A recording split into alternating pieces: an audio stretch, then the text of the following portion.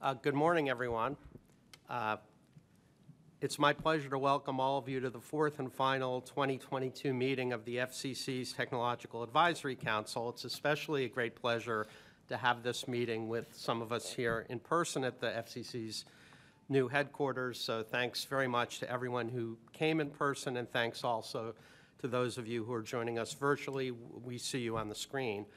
Uh, For those of you who might be watching this hybrid meeting but might might not be familiar with the Technological Advisory Council, or as we call it, the TAC for short, we are a diverse group of technology experts who've been selected to provide technical expertise to the FCC to identify important areas of innovation and develop informed technology policies supporting U.S. competitiveness in the global economy. Today is a really big day for U.S. technological leadership and communications, and especially for U.S. leadership in this new emerging area of 6G. The TAC's work in 2022 focused on gathering, digesting, and anal- analyzing information on significant technological areas in- that we've been asked to investigate under our charter. And today, you will hear our recommendations to the Commission in these important areas. One topic which has been a year-long major focus for us is 6G in all its various aspects. As FCC Chairwoman Jessica Rosenworcel stated when appointing us, quote, "The United States must lead the world in advancing ambitious 6G research and development. We know that maintaining our leadership in high-priority emerging technologies requires careful planning and execution. There are signals that need our attention, from the need for more spectrum to the vulnerabilities of supply chain to the changing dynamics of global standards development. We're starting that work here and now by reestablishing the TAC and charging it to conceptualize 6G to help set the stage for our leadership." Close quote. Accordingly, you will hear readout today on our work in conceptualizing 6G in a variety of ways, the timetable for 6G, 6G technology, 6G use cases, 6G spectrum sharing, and perhaps most importantly of all, the quantum of spectrum and the types of spectrum that 6G will require.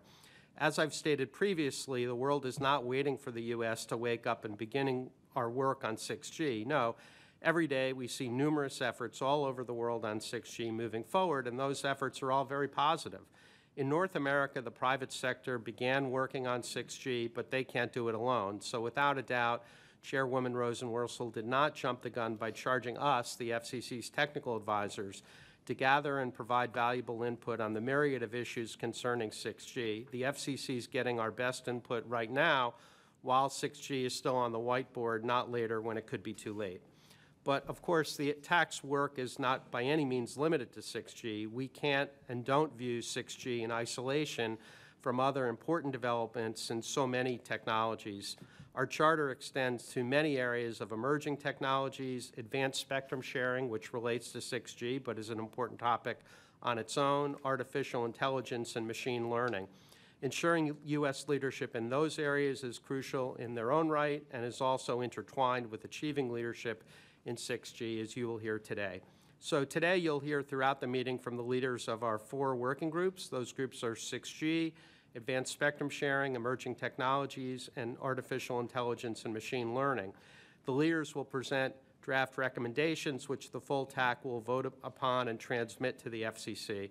I'd like to conclude by thanking FCC Chairwoman Rosenworcel, the talented and hardworking FCC staff, including our amazing designated federal officer Michael Ha, our amazing deputy federal officer Martin Doczkat, and our equally amazing acting chief engineer Ron Repasi, and so many other dedicated FCC staffers. Thanks very much to all of the fellow TAC members, and a special thanks to those of you who are leading a working group, which really did require so much work. We're all busy, and I really appreciate the great deal of time that everyone has devoted throughout the year to the TAC's work. With that said, I'm going to turn the floor over to Ron Repasi.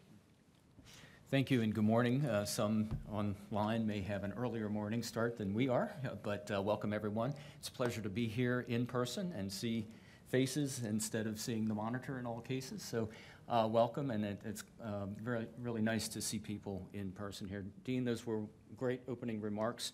Um, I think we all understand the uh, emphasis on 6G, and I also want to express my deep appreciation for this, uh, this council uh, all the working group chairs and all the participants, and including the liaisons from the FCC that got us to where we are today. We've come a long way from earlier this year. This is only the fourth meeting of this, uh, th- and it's the last meeting of this calendar year. Uh, We have a lot of material uh, to go through uh, this afternoon, or uh, today, this morning and this afternoon, so I won't belabor the points.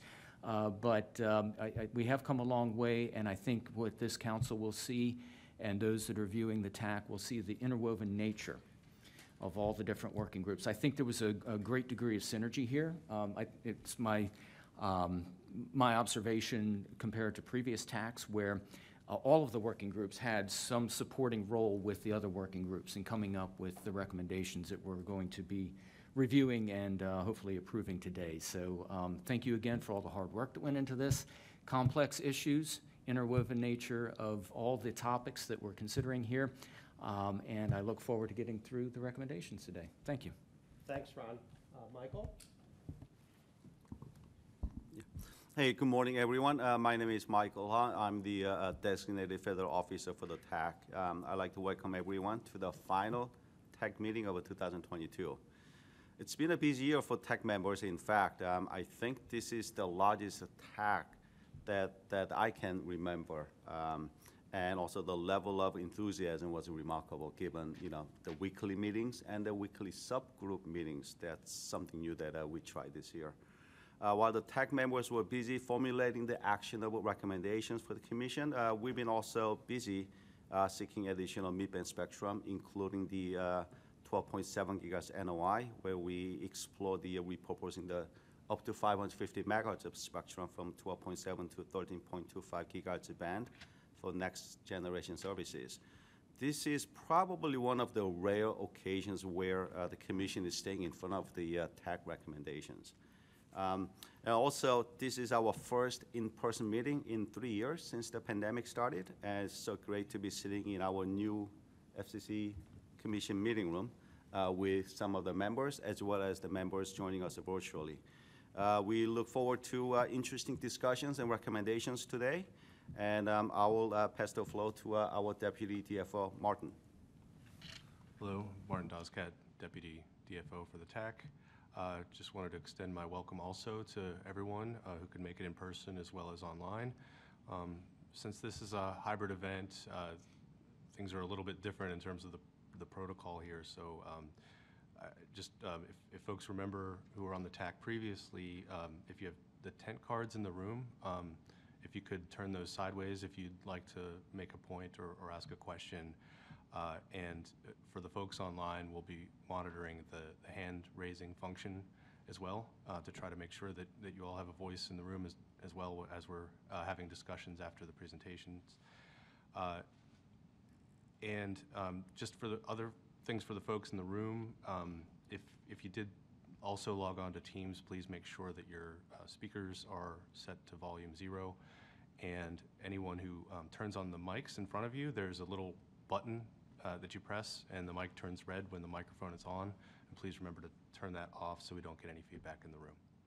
Uh, Otherwise, I just want to also echo my thanks for all the hard work and contributions that have uh, been put in throughout the year. I know, I know we all have day jobs as well, so I really appreciate all the effort everyone's put in. Thank you. Thanks very much, Martin. So I'm going to turn things over to the Emerging, Emerging Technologies Working Group, Brian, who's here in the room, but just one other housekeeping matter. So I think the, what makes the most sense in terms of the recommendations is you will hear a readout from each working group, including a summary of all of their work and ultimately their recommendations. We'll have obviously discussion and questions, but at the end of that, then I'll call for a vote on the recommendations of that particular working group, and then we'll move on to the next one. Um, So with that, Brian, take it away. Okay, thank you. We'll Wait till the slides come up. All right, uh, again, this is Brian Markwalter. I co-chair with Henning. Henning is online, so I'll hand off partway through to Henning to cover part of the presentation. Um, Let me say a little bit about format. So our, our assignment, if you recall, we had eight or nine really broad questions given us. So we were a little bit of the survey course. Uh, we covered everything from uh, optical systems to what's going on in semiconductors and end devices, um, internet restoration, you'll see we, we will go through our questions. That's the structure of our presentation. We'll show you a question we were given, the speakers related to that, go through and talk about some key insights. So we were not poised to make strong recommendations. I mean, you won't see, you'll see recommendations about things we think need uh, continued study, but probably not so much recommendations around actionable things for the FCC to undertake. So, let's see, you can go forward a little, we're getting, getting our presentation tuned a little bit. Okay, here we go. Uh, I want to thank all the FCC liaisons. Martin in particular was available, you know, when we had questions, provided some pointers, uh, areas of research he had noticed happening. So it's, it's been a great partnership with the FCC staff. Next slide, please. And uh, so when we get to the next slide, you'll see our roster. This will test my memory of, uh, here's our working group participants. I want to thank them for lots and lots of calls. I learned a, a lot doing this particular session, this, this go around this year. And a lot of people jumped in at the end to compile our presentation. Next slide.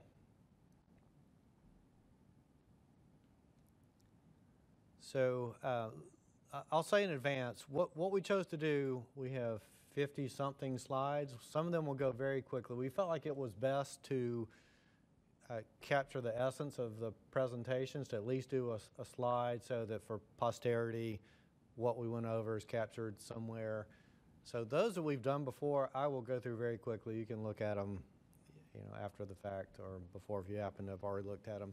So our first, uh, our first question we were posed with had to do with, uh, it's pretty broad about the IoT ecosystem and spectrum needs and investigating the implications for the uh, chip technologies, RF front ends, antennas, digital basebands, kind of the whole gamut of what's going on in the IoT space. Uh, so here's our list of, of speakers. First two are obviously chipset business and focused uh, more in the mobile space. We had then followed by two, the antenna field. And wait for that to die down. Um, I'll cover those. And, and then lastly, some, something closer to research, but more focused on millimeter wave. Excellent presentation from a colleague of Henning's at, at Columbia. Next slide.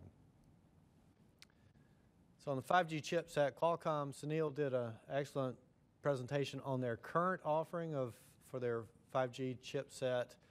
Uh, you can see here what, what the focus is and, and, and where they are in the timeline of deployment of, of chipsets. Uh, You know, the, the key takeaways are that um, chipsets are getting, they're, they're very complicated now. Companies are already using AI. There's a lot of enhancement. Clearly, they, they serve whatever the release is. You know, there's a lot of coordination and development goes on in, in anticipation of 3GPP releases. Uh, and then the chipsets are out. So this one's underway in shipping. Next slide, please. Okay, had an, another great presentation from MediaTek, Dr. Fan. Uh, this was a little more forward-looking about how they're thinking about uh, 6G. You know, is fascinating. I, th- I think my my biggest um, realization from this presentation is is how complicated and cross-cutting the work is to develop these chipsets. That they're looking at optimization across all layers, and you can see in the in the chart embedded in this slide the, the kind of growth and, and capabilities that um, they're they're aiming to achieve in uh, 6G chipsets. Um, again, AI shows up, so that's going to be a recurring theme. Luckily, we got Adam. You guys can talk about where all it's showing up, but it's clearly showing up already inside chipsets. Next slide, please. I think next one is Kymeta. Next slide. Okay, yep.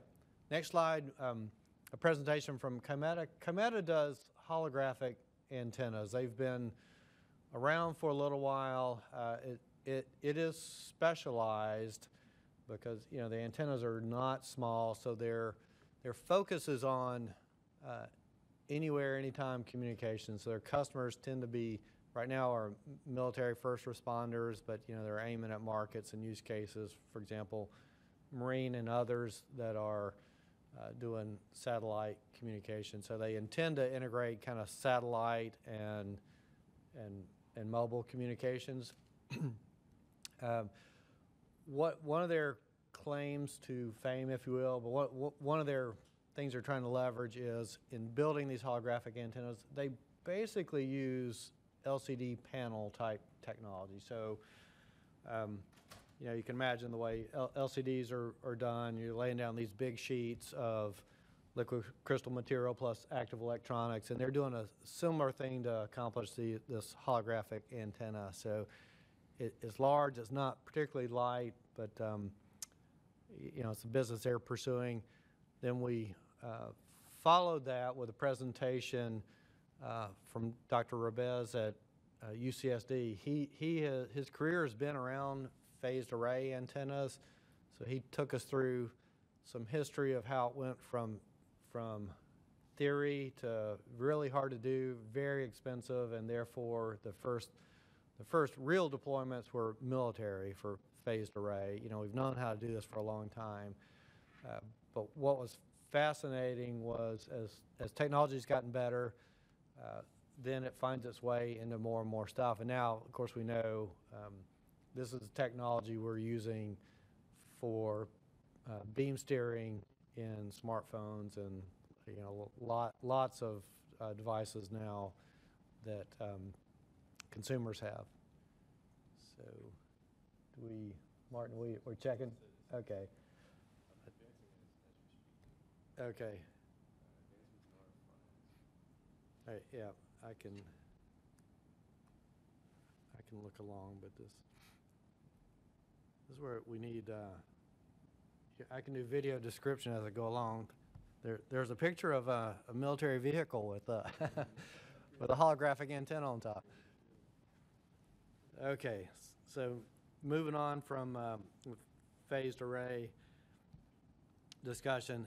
Uh, Next one we had was uh, Harish from Columbia. He's now with, with MixComm. I think he's taken a, a leave from Columbia, so he's now with the company MixComm. And the- they're, they're specializing in that, that work. They do RF silicon on insulator, and, and their whole focus is on millimeter wave and the challenges of, of doing active front ends and antennas uh, for millimeter wave. So what, what has happened is, is we are now using these millimeter wave frequencies in smartphones and other devices, where tho- those frequencies are, are now around one-tenth of the, the maximum switching frequency of the semiconductor. So we're now he- heading into a, a, the frequencies where the chips are becoming inefficient for some of the things they need to do. So uh, this is what MixComm is, is trying to specialize in, using RF SOI to optimize, okay, thank you, there we go, we're caught up, uh, to optimize these components that are, they're integrating power amps, low noise amps, the transmit receive switching, and beamformers, gain control, all, all in these RF SOI uh, chips. And, I, you know, we've had, I know there's been discussions, probably in sharing in our, our group on um, the thermal challenges and other challenges that chipsets and UE designers are, are facing uh, as we deploy these more complex phones and much higher frequencies.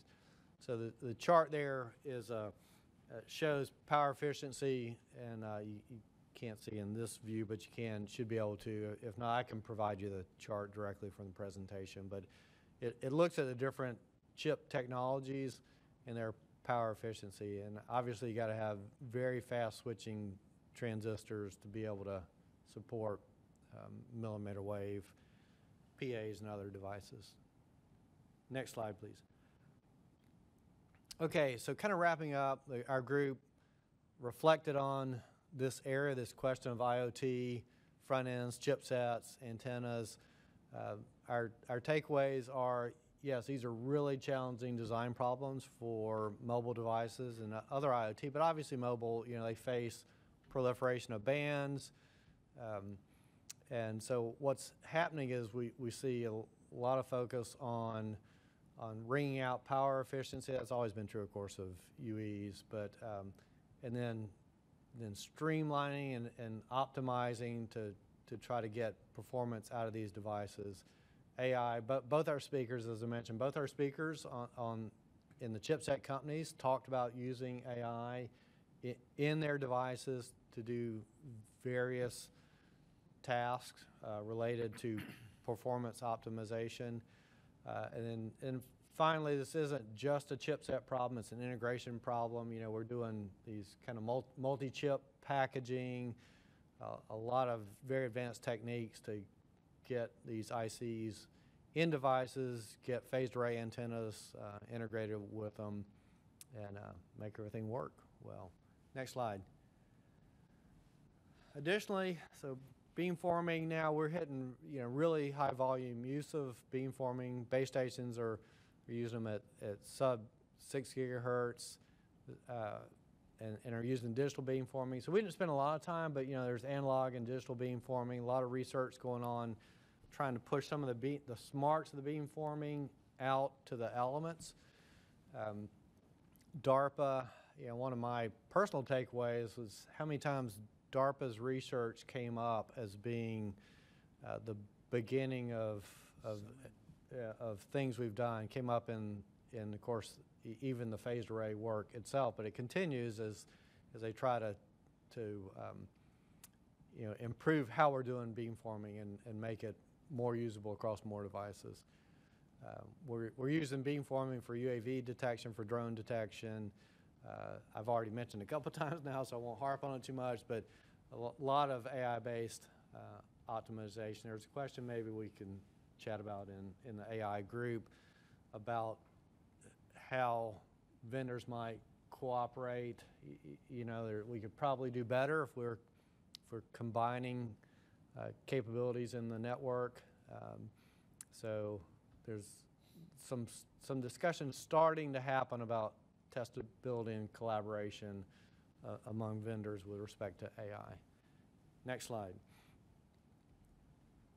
This was our next question, sort of related, although the emphasis was a little bit different. It was, it was really, the question was really, what's happening in the chipset world? What kind of new features and capabilities are finding their way into chipsets that the FCC, we should, the TAC, the FCC should know about? And they mentioned UWB uh, by name, but there's other things, obviously. We, we had three excellent presentations on UWB and did a presentation on SideLink, which is a device-to-device uh, capability. Next slide. First one on uh, UWB, um, Karthik from Samsung spoke. He's actually speaking on behalf of FIRA, the Fine Ranging Consortium. So that's a group that is, was put together, consortium, working on UWB uh, for the purposes of the, of the precision ranging problem. So UWB does a lot. It does communications, does um, localization, positioning, and you'll, you'll get that flavor as we go through these next uh, three slides. Um, What was clear from multiple speakers is, I think those, probably everybody at the table knows, UWB is not super new. What's new is how quickly it's, it's grown, and some of that uh, clearly comes from getting the standards right. So 802.15.4z was referenced uh, a couple of times. And then I think the industry getting together and figuring out the use cases. So we had technology capability, and maybe not the best mapping to use cases, but now I think on the marketplace side, the companies are really focused on what problems are best solved with UWB. Next slide. Google also presented, so this was specific to how they're using UWB in Pixel phones, but it was instructive to understand their challenges and the use cases they're trying to solve. So um, they're not the only phone product. This, so the reason for the sudden or the rapid increase in in UW in fielding of UWB devices is primarily smartphones and tags and trackers and related things, but that's where it's coming from. Uh, So one of the use cases is digital car key.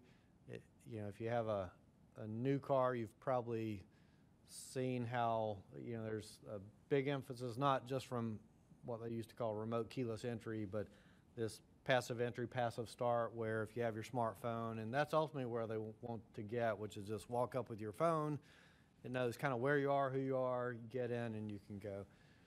Um, It's, uh, the technology itself, part of why it can do ranging and uh, location identification is because it can do angle of arrival in addition to data communications. Um, And the challenges that, that uh, Nihar cited were link budget, probably always a challenge for every RF system, and antenna design, because we're now cramming lots of antennas, and these obviously are wideband antennas. Next slide. Uh, Tim Harrington chairs the UWB Alliance. This is another industry group. This one's a little bit more international and, and doing a bit more maybe on uh, policy side, but they also spend time doing uh, use cases. So th- this was a great uh, review of of where UWB came from, where, where the breakthroughs were, and what the issues are. Uh, so again, Tim noted that that UWB was out there. We were able to do it, but there weren't really a lot of uh, applications until we had 802.15 4Z and some chipsets im- improvements. Uh, there's a few things going on. There's uh, there's some waivers being asked for in certain applications of of UWB in the U.S. and discussions in the EU around regulatory changes. Next slide. Okay, I'll leave this. For, this is a, a good chart talking about where the primary deployments and where the volume. So the top half of the chart, when you go back to look at this, the, the, the bigger bars at the top half of the chart are, that's device volume. So that's where the high volume of products are. You can map it to the frequency. So it's a good one to look at if you want to see where the growth is in, in frequency bands that UWB is using. Next slide.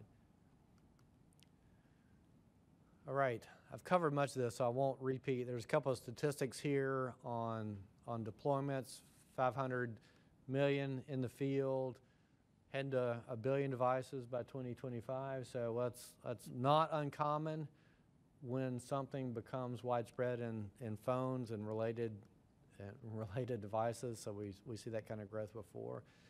Um, There's a wide range of applications that are available. Uh, there, I mentioned the waiver request in EU. CSMAC also has a UWB working group. We'll just make that observation, different, different advisory uh, committee. And so they're doing their thing. Next slide. Here's our takeaway. It's a fast-growing area, so I guess we can consider it so far a success story. And that, you know, this was thought about many years ago and put in the rules many years ago, and now we're seeing widespread deployment. Um, our recommendation is to monitor. Uh, There's nothing we see that needs immediate attention. All the processes are working, but it is fast growth and it's wideband, so it's worth monitoring. Next slide. Okay, final topic in this area of, of chipset, chipset capabilities is SideLink. So again, Qualcomm, we thank them for presenting on SideLink. Um, just by way of background, this is a device to device capability, so it doesn't need to be talking to the network itself. And you can imagine use cases that stem from that. It is already standardized. It is a uh, capability that is available.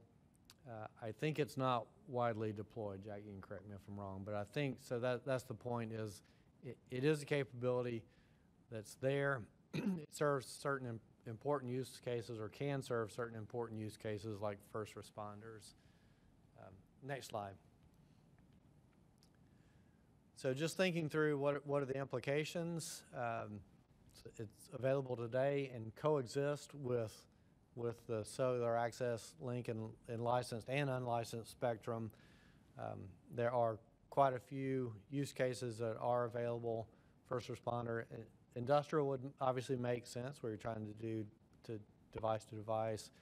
Uh, Others, you can imagine IoT deployments um, where you might mesh devices together using SideLink um, and then hop onto a, a network for, for getting on the internet or back to whatever the, the application needs to get back to. It's being explored for intelligent transportation systems and V2X. Um, I mentioned the public safeties, there's specific band that's of interest and uh, should drive greater utilization of spectrum. Next slide. Okay, big topic that we will admit we did not spend enough time on. So we, we were asked to look at, at internet restoration, uh, how do you restore access? You know, the very first point was there's, there's two parts. There's, there's the access network, then there's the rest of the inter, internet. So it's a, it's a complicated question on, on its, on its own. Uh, we, we did have Emma Stewart speak to us specifically on, on this topic. Uh, there's kind of a, we put a note in here, see Project uh, Taara. That, that's a um, free space optics terrestrial capability, so you can imagine it could be deployed as sort of a, uh, to us- reestablish links or as a backup. Uh, But uh, there's, there's more on Project Taara later in the optical section. Next slide. Dr. Uh, Stewart's with National Rural Electric Cooperative. She's got a cybersecurity background. It's very interesting uh, discussion, uh, looking at it from the rural electric. So her, her angle, of course, is how, how do I keep electric grids operating? But, you know, wha- wha- one of the issues is, uh, and as it turns out, and why cybersecurity is so important to it, not just cybersecurity because of the attack on the grid, but what happens if there's, for example, just, you know, disaster, uh, flood, wind, something like that. Um, What, what they look at with an increasingly complex electrical grid, which now, you know, it's, as we know, is no longer just one way. Now we have um, a lot of generation happening out in the network, distributed generation, plus a lot of storage out in the network. So they got to manage two-way flows of electricity. Um, biggest takeaway for me was that the communication system is key to them getting back online. So first thing they need to do is understand what's happening in their network, and they rely on communication. So we, we have this codependency between comms and power. I know when we've talked about uh, communication network resiliency, people point out, well, uh, power is often the problem. Well, it's, it works both ways. They, the power grid is looking to comms uh, to understand what's happening and how they restore. So next slide. Our takeaway is kind of at the, at the end of our time to deliberate this year. There's a lot of questions. Um, so I will leave these here. We're not, this is just open things that could be discussed. I won't go through them, but, you know, there's a lot of work that's being done. The networks clearly do a lot to maintain resiliency, to be smarter about understanding where outages are. Um, But this is an area that, that could use more work. Next slide. Uh, And, and by the way, so that, that is our takeaway. We, we scratched the surface here, but um, di- didn't do it justice, perhaps. Uh, Next question, two, two big buckets in, in one, or two big industries in, in one question here. What are the latest advancements in cable and broadcasting? It it referenced standards, that's part of it, but, you know, not everything is in the standards. It's also, probably, consumers don't care so much about standards, they care what actually makes it uh, into devices and, and home. So um, we had, we were lucky to have in our working group, Madeline Noland, president of ATSC. They, they have a meeting going on right now, so she's um, probably not online. I don't know if she is or not, but there's meetings, ATSC meetings happening right now. Um, and our, our cable, cable folks, um, Mark Hess and Bill Check got us access to cable labs for an excellent presentation. Next slide. Next slide. There we go. So Madeline gave an excellent overview on ATSC 3.0 for those not in the broadcasting field. A- ATSC is a standards committee that maintains our broadcast television standards. We've been digital since the transition to ATSC, now called 1.0. We just thought of it as ATSC at the time. But now there's 3.0. There's a voluntary transition that uh, broadcasters and TV companies are undertaking. Uh, 3.0 was designed using IP from the start, so that's pretty unique. It's, it, it was the, the first broadcast standard to really think about integration with, with IP-based networks from the start. Uh, and it, it was a top to bottom do-over, so they, they did not try to maintain backwards compatibility. To be, to be able to go um, much faster and do many more things in 1.0, ATSC had to give up on backwards compatibi- compatibility. So uh, that's one of the challenges. But the end result is you get a lot more capability. Next slide. So this is a little bit of a snapshot on what's going on. We are transitioning to 3.0. It's voluntary, as I said. About 50%, that number's maybe higher by now because I, I know markets markets are turning on. I think some have turned on this week, working our way towards bigger and bigger markets.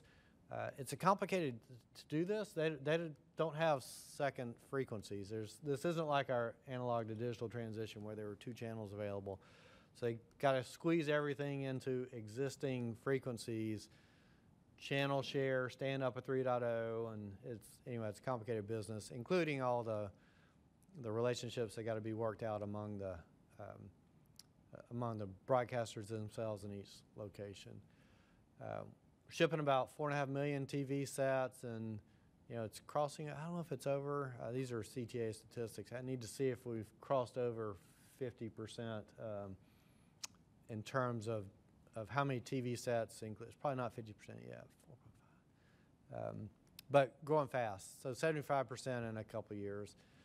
Uh, it's there's quite a bit of, of international interest in ATSC 3. Korea is the, is the other big adopter. They actually moved to 3.0 before um, uh, we did. And then there's Jamaica and some other countries that are actively evaluating it. Next slide. Discussion, a lot of the emphasis right now is, okay, we're going to use 3.0 and broadcast networks for true, for data casting, there's work that's got to be done on the back end because the, the back end of broadcast is not tied to any, any core network. So that's what's being worked on is how, how would you do, for example, nationwide data casting? And so there's a lot of work now, work on intertower communications, and um, and I mentioned this convergence, like what, what would be the relationship between ATSC 3.0 and mobile networks, for example, 5G? How, how are these things um, complement each other if somebody was trying to use broadcast ATSC 3.0 capability to send data from one, one point to many receivers. Next slide. I think this may be the handover to uh, some a couple of highlights. So, um, not not a recommendation, but you know, it's observed that for for broadcasters, the pain is getting through the transition with no additional spectrum. So things things we can do to facilitate that transition for them. Uh, they're working hard at it, and we're working with them to try to make TVs and get them in consumers' hands. But that's that's one aspect. And then as as international adoption is on the table for more countries, um, you know, to the extent we pay attention to that and um, advocate for our our standard. Next slide. I think this is where we hand off to, yep. I will hand over to Henning for the remainder. I thank you for the opportunity to complete our WOM through technology land that we've been able to do. Um, so our next topic uh, uh, that we tackled in one of the presentations was the state of uh, affairs for uh, the the largest really broadband network for consumers, namely HFC cable networks. Um, just because acronyms aren't confusing enough, they introduce the 10G acronym, which refers uh, not to the G in generations like 6G, I, although I have my suspicion that there is a bit of um, um, let's say tweaking of noses going on here. Um, it is refers to the goal of having 10 gigabits of um, speed um, available to that, with the emphasis that next generations uh, or evolutions of the HFC standards really are a combination of a number of facets. So this is, involves the next generation of DOCSIS, reducing uh, latency, uh, better integration of local Wi-Fi, uh, integration of passive optical networks, given that these are hybrid networks that combine coax and optical networks. In that next slide. So I, one of the advantages that HFC networks offer is that they have shown themselves to be readily upgradable to new technology with incremental new deployments of the actual plant, outside plant uh, in that. So one illustration of that is that uh, gigabit broadband as an available speed, not as the standard subscriber speed, uh, has become available to 80% of US households, according to the statistics presented uh, to us by that. Um, and so that plant has shown itself to be uh, more readily upgradable than, uh, say, traditional copper plants. Next slide. Uh, so the story really for the past 10 years or so, if not longer, uh, has been that cable networks are having uh, the, the hybrid part of the cable network, of the HFC network, means that fiber is being pushed closer to the subscriber edge. Uh, in that. So that in particular increases the available capacity to the shared part of a network, the coax part of a network in that.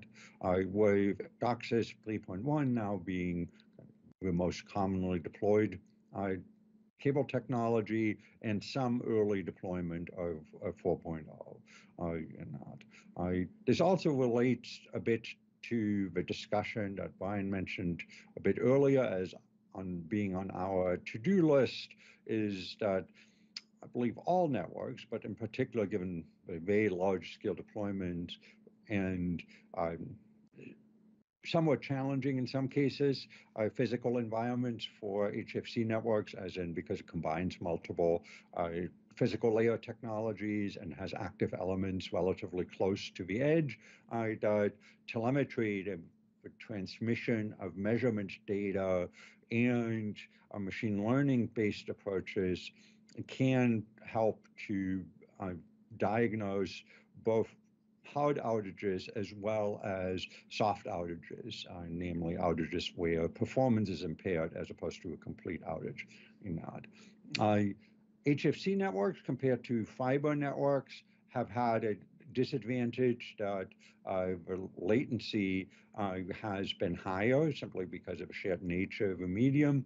And so that uh, one of the goals of uh, DOCSIS 4.0 is to reduce that latency to the millisecond, multiple millisecond range uh, in that.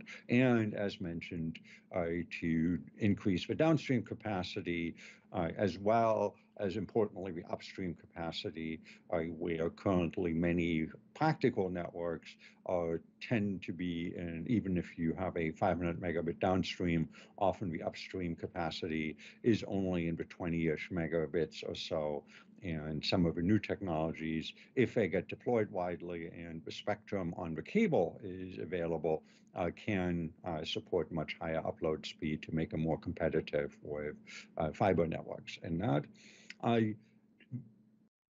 the cable industry has been, I would say, unique in that they for a long time have integrated Wi-Fi deployments into their plan for semi-public Wi-Fi, where subscribers of cable services get access to cable Wi-Fi, uh, and that, um, and this in particular uh, conforms or enhances their business model of providing uh, cellular services as well. Next slide. I so while we were appreciative of hearing the update on the state of affairs on the technology and deployment developments in that area, it does not appear that there's any current further work needed for, for the TAC working group uh, to track this. It seems to be uh, well covered, so to say, uh, by industry publications. It is clearly mainstream technology, so no further work is recommended here in that because it's maturing quite nicely on its own. Next, please. A to- broad topic that we tackled uh, in two ways. Uh, Brian mentioned UWB as a location uh, technology uh, in that, but that's not the only location technology that we have. Broadly speaking, we have uh, three technologies that are in widespread use. Um, UWB was mentioned, clearly uh, the various satellite-based positioning system, such as GPS, and the non US versions that are often integrated at the handset level.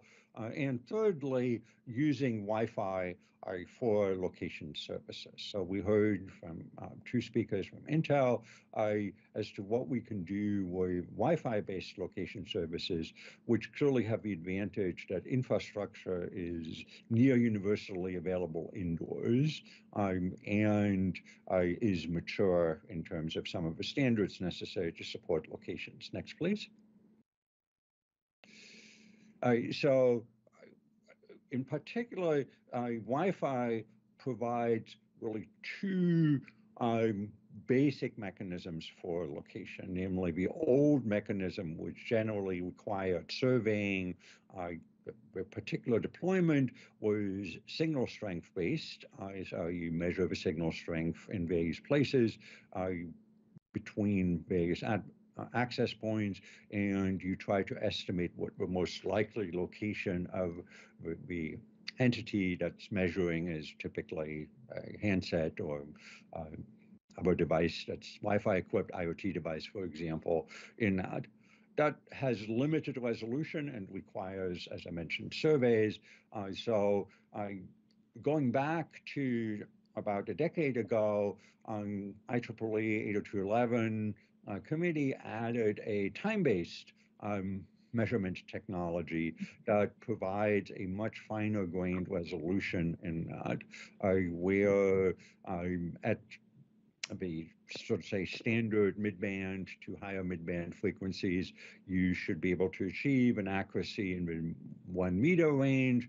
And if you operate at 60 gigahertz, you might be able to push this down to a few centimeter uh, and that. Currently, the adoption uh, has been relatively slow. I, is my personal take, is because it requires uh, deployment both at the access point and on, on the handset, and uh, and this seems to be a little bit of a usual chicken and egg problem, since particularly in the consumer space, uh, access points are not replaced very frequently, and this is probably true in the enterprise space as well. So unlike for UWB, where you have applications that are inherently motivated, such as automotive, uh, to deploy this for like access control to vehicles, uh,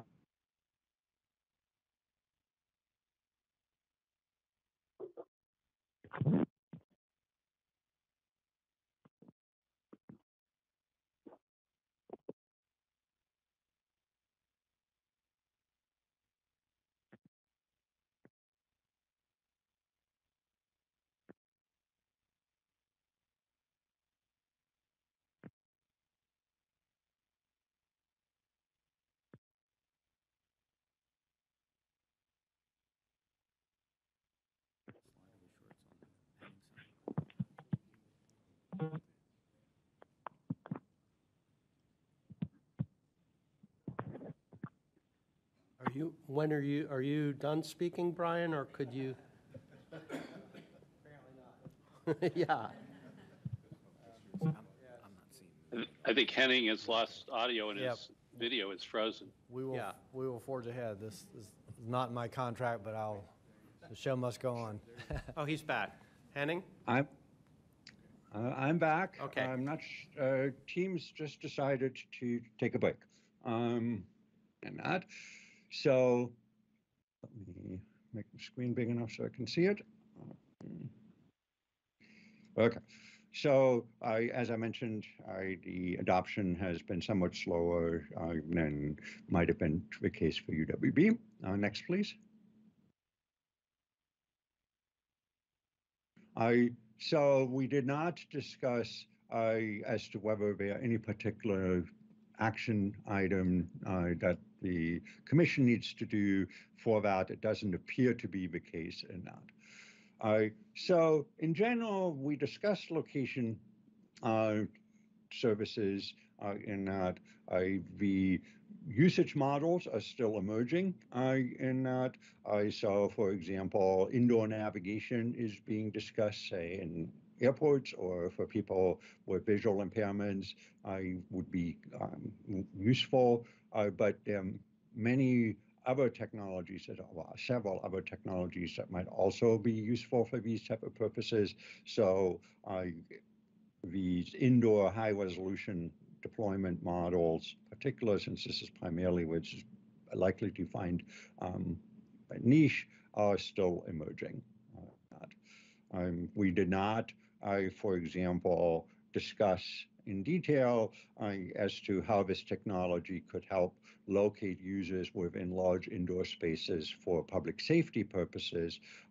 As we all know, locating users indoor for calling when calling 911 has been a long-running challenge uh, for the industry and a long-running uh, goal for the commission, uh, but we did not go into this. Uh, again, the infrastructure deployment issues may make that challenging.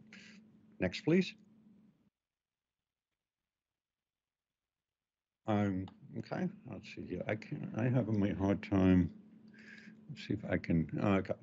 Um, so some of the um, I'm seeing the cutoff slides, so I'm having a little bit of difficulty here. Uh, so I, there's other applications that may not be as immediately obvious. Uh, so, for example, um, there is an overlap with spectrum sharing, uh, namely, for example, these technologies could be quite useful to determine whether a device is indoors uh, or outdoors, which could help uh, restrict its power or its ability to use certain spectrum bands, which might be limited for interference mitigation purposes uh, and, spectrum sharing purposes to indoor, use only. Um, and that, and there's also a number of novel industrial and enterprise location application, primarily tracking uh, robots, mobile devices inside uh, or equipment inside a plant. And naturally, autonomous vehicles uh, need very precise location to for uh, both absolute and relative position. Uh, we did not yet fully explore these type of um, applications. Next, please. I, the next uh, broad topic that we heard from in four areas are small satellites. Uh, this clearly has received a lot of general interest uh, in that. So we heard about satellite links for uh, smartphones that largely rely on very traditional satellites. We discussed those earlier. We discussed the general notions of what LEO satellites are capable of in terms of their overall systems capacity. Uh, that is of particular interest to some of the broadband deployment um, questions. Uh, we heard about updates about tech- technology and uh, from um, EchoStar, from member Jennifer Manner, and uh, SpaceX updated us on Starlinks and LEO systems more generally. Next, please. I, so this is uh, probably well known uh, that there has really been a shift from the traditional geosynchronous Earth orbit, which most communication satellites traditionally, leaving aside early systems such as Iridium, have occupied uh, two medium and uh, low Earth orbit satellites. Both of those, the latter have the advantage of much more generally useful latencies, as in generally useful that they can be a closer replacement to uh, earthbound systems uh, in terms of their latency.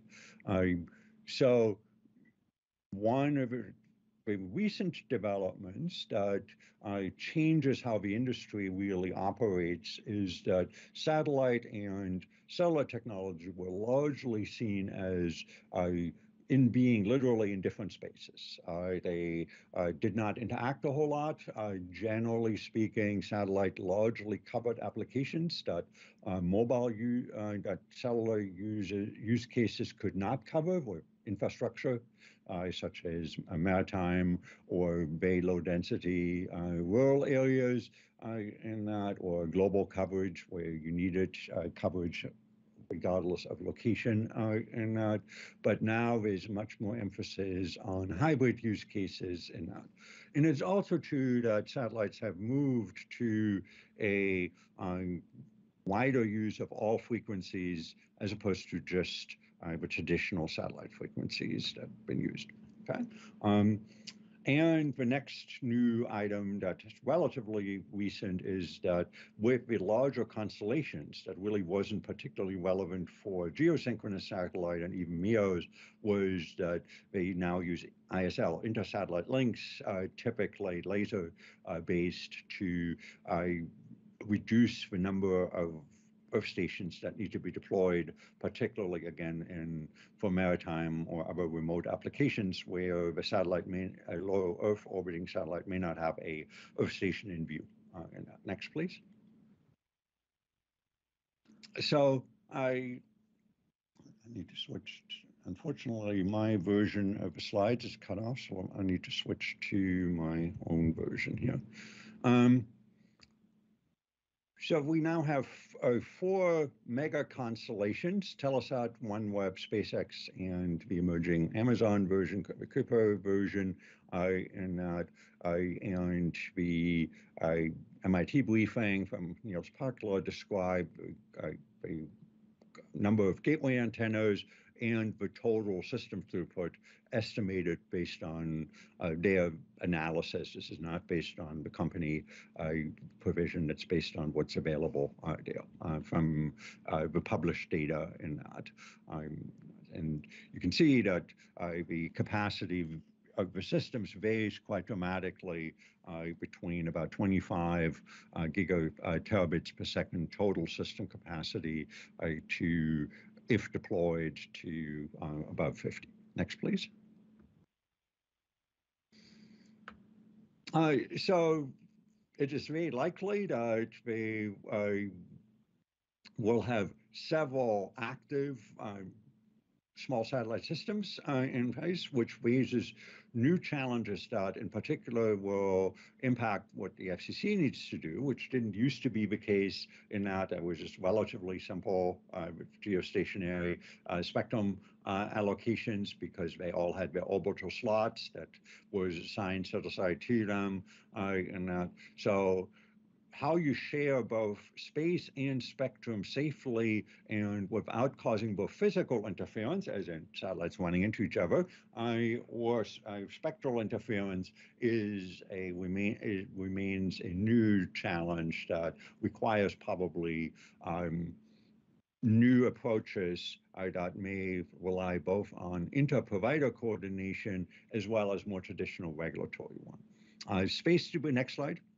Uh, space debris clearly uh, provides a offers a new challenge, particularly given uh, the several orders of magnitude larger number of, de uh, of devices and their relatively shorter lifespan given their lower orbit. Uh, and uh, so how do you deal with that? And clearly the, the commission has been recently um, working on that particular topic in this. And the um, Traditionally, as we all know, laser links and optical links have not been subject to commission rules, but in the case of LEO clusters, it may well be that uh, the density, overall density is so high that uh, coordination between different clusters so that uh, there are no obstructions or that unintentionally lasers uh, blind other satellites by other constellations that happen to um, be um, same general orbit or between satellites uh, might be helpful. That remains to be explored. I, next slide, please. I, we then had three presentations of a very different uh, nature, uh, unified really by the notion of use of light. Uh, so the three technologies are free space optical networks, typically used for short haul communications between, um, let's say, the top of buildings as a permanent or temporary uh, substitute for typically fiber links that may not be available um, in time or at reasonable cost, or may may be disrupted by um, acts of nature. Uh, then passive optical networks as the dominant new deployment technology for uh, newly deployed residential and commercial networks uh, at the last mile level. Uh, what we heard from Ed Harstead at, Nokia, and and finally at the last 10 to 50 feet maybe, uh, namely uh, what's often referred to as Li-Fi, namely uh, the use of light communicate, light-based communication within a room, uh, primarily to protect confidentiality and to provide an additional reasonably high bandwidth communication mode beyond Wi-Fi. Next, please. So we heard from Free Space Optical that offers in their particular implementation uh, as Project Taara, um, a, a 20 gigabit link at up to 10 kilometers. Again, this clearly depends on the atmospheric conditions uh, that we have. So this is uh, probably um, not something you would achieve when it's fog or you have um, precipitation, but it offers a quick install uh, because you can just deploy to rooftop systems and they um, can be aligned relatively quickly with semi-automated tools uh, in that. Next, please.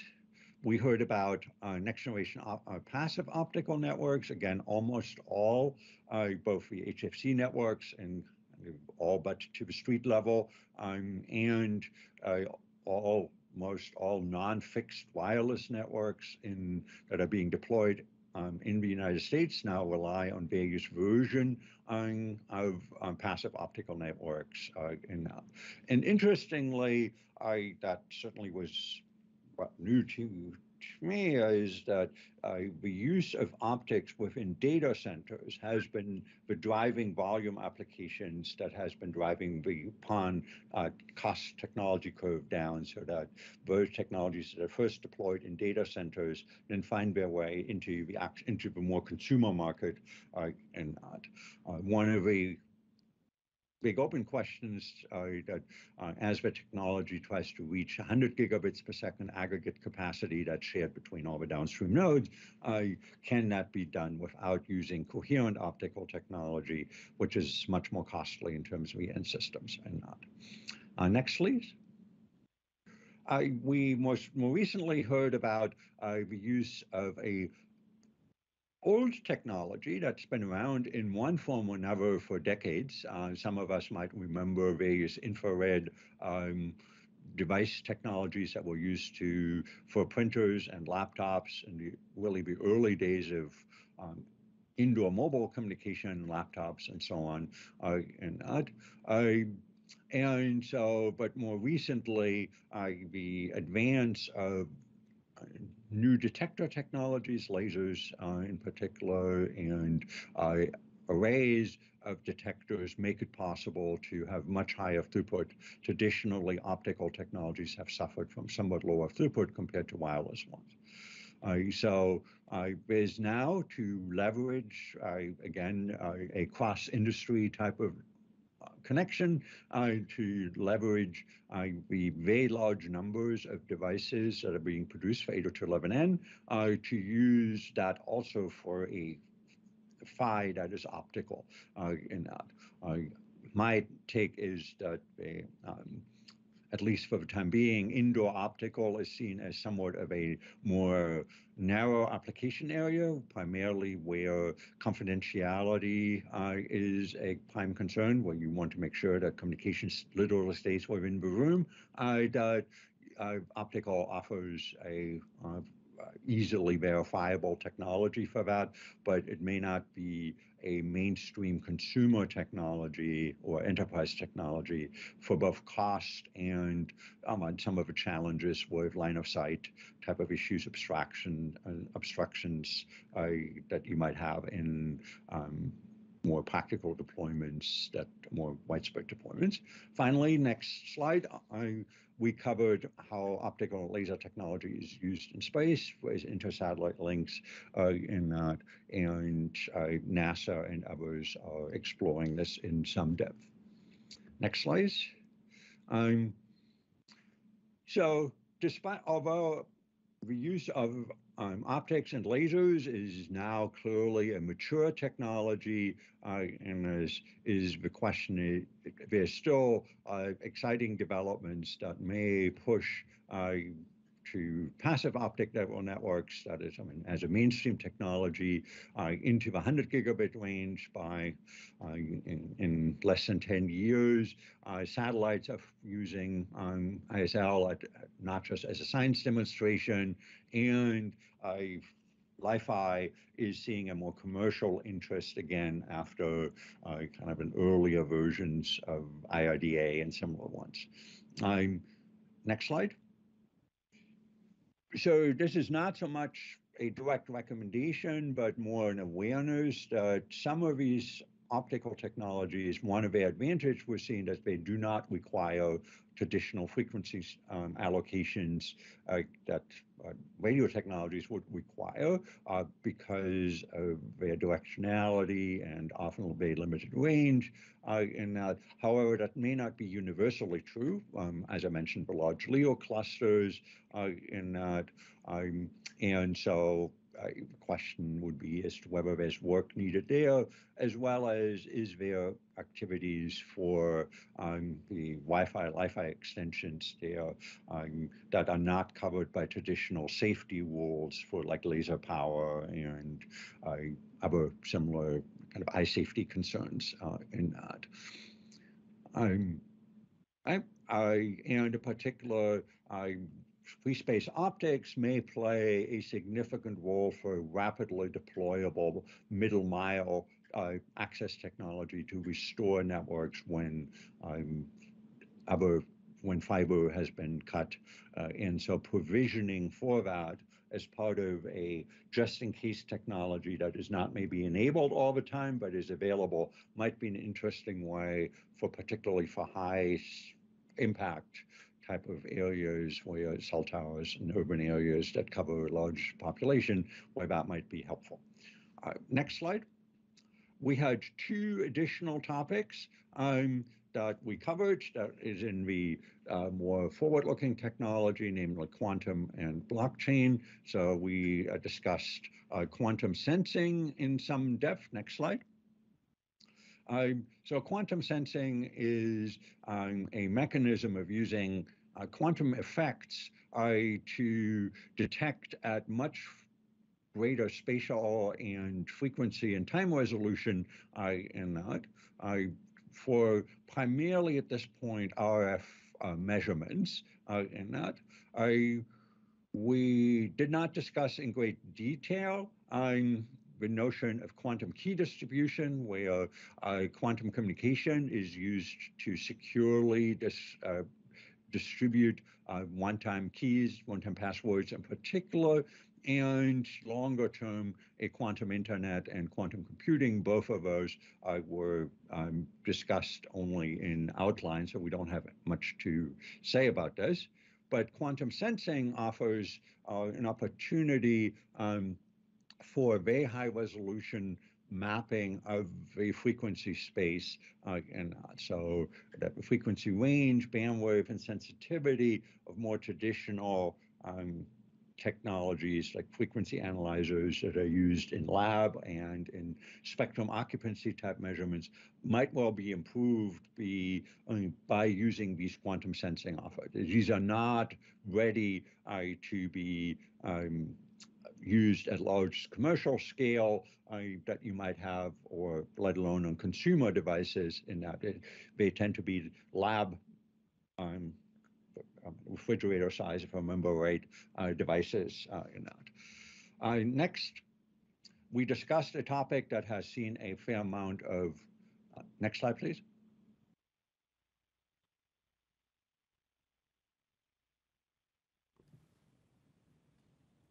Next slide, please. Thank you. Uh, we discussed blockchains. Um, they have received clearly a lot of interest, primarily for distributed finance and uh, and other reasons, uh, and other applications like NFTs and so on. But there has been a, a small but interesting set of developments in using uh, blockchains and cryptocurrencies to incentivize the deployment of infrastructure.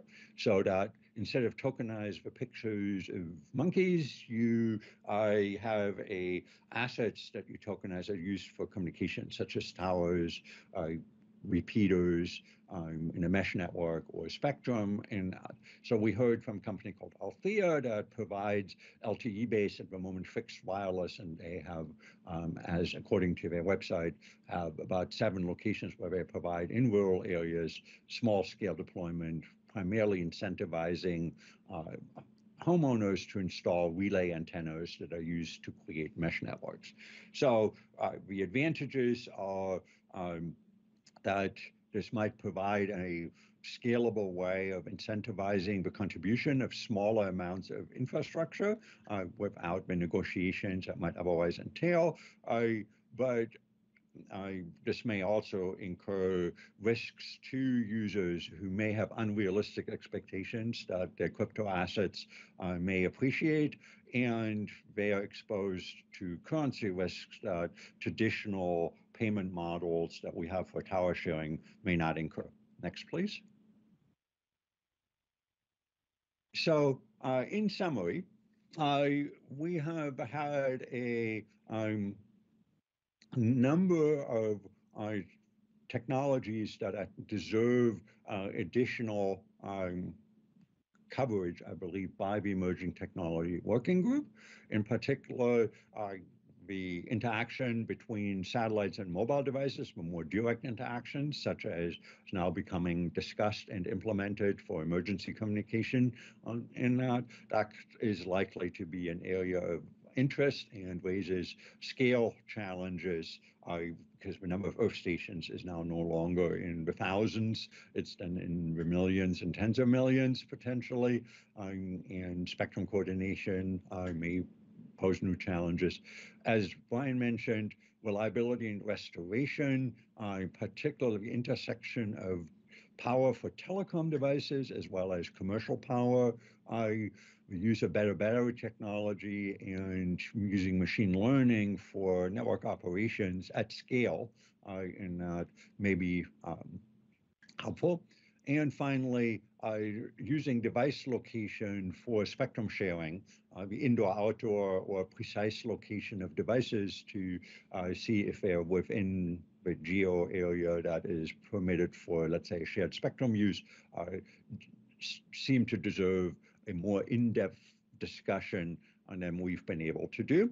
There's also opportunities for uh, technology areas that we have not yet covered, particularly uh, the augmented and virtual reality and various related technologies, uh, the use of uh, so-called reflective intelligent surfaces that modify their reflection behavior for radio frequencies, uh, dynamically as opposed to simply being static reflectors or receivers, um, and some new radar bands such as 140 gigahertz band uh, that are being discussed for uh, new high, high resolution radar applications.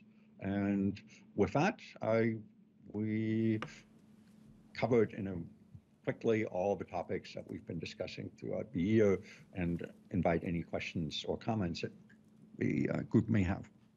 Uh, Fantastic job, Henning and Brian. Such a wide-ranging, uh, broad, but yet detailed discussion of so many technologies, including many of which are not directly regulated by the FCC at the moment. And in other cases, I think it's important that in many, many times, the commission, by, of necessity, is reactive.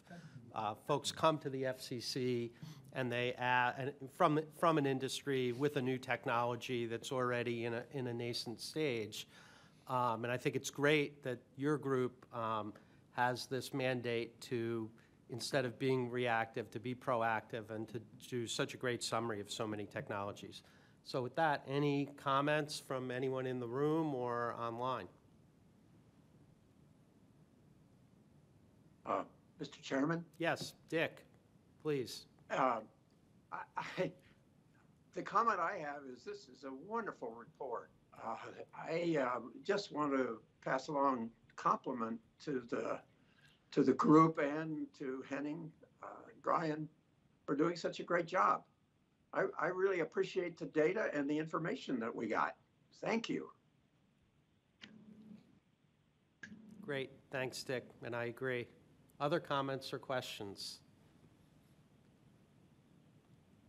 Okay, I'm going to then call for a- a vote, although there were, uh, mostly, it was a a report, there were recommendations throughout, so I'll just call for an omnibus vote on, um, will the TAC accept the recommendations of the Emerging Technologies Working Group? Um, In the room, please say aye. Any opposed? Any abstain? Okay, online, uh, you can either use the raise your hand function if you uh, vote yes to approve the report.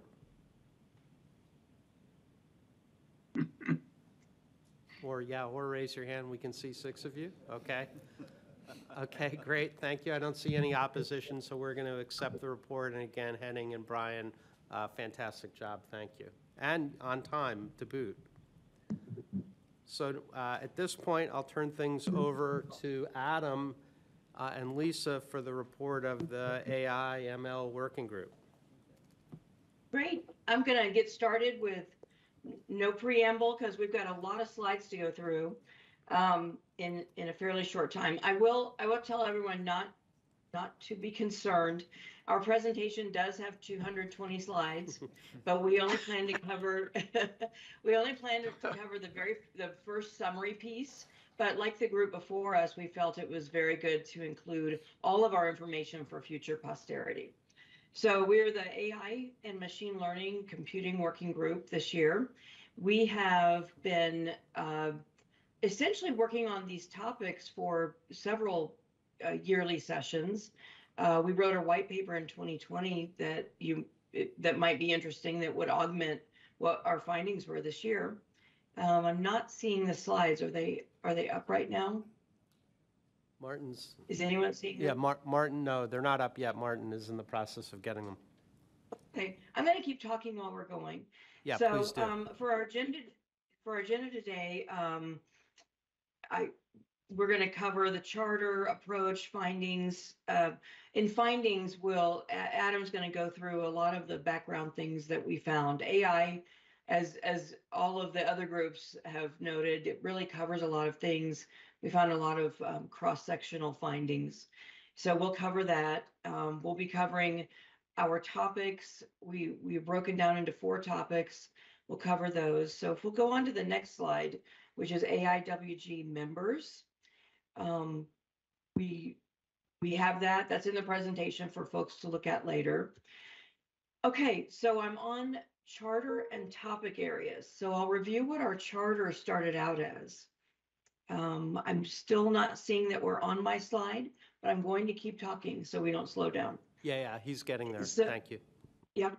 Uh, So, uh, topic, our, our first charter was to talk more about pilot projects. And, and so we'll be covering that. The second part of our charter was to uh, explore the use of AI with Spectrum. Now, this overlaps quite a bit with another group. And, um, I think that's the wrong presentation, but we'll get there. Um, so this one overlapped with the spectrum sharing group, but we did coordination and we touched that topic lightly and our recommendations are in alignment with the spectrum sharing group. I'm now on charter and topic areas number three, which is one more slide. And that was to evaluate, th- this was a fairly broad one, uh, evaluate AI ML methods for operations, security, performance, network control. This is a very rich topic, and I think you'll see that we recommend we cover that some more in 2023, but I won't, I won't steal Adam's thunder. Number four is to continue, four and five are somewhat related, so uh, to consider safe, we, we consider this in the safe use of a, uh, safe use of AI topic, um, content providers, impacts on com- consumers, addictive behaviors.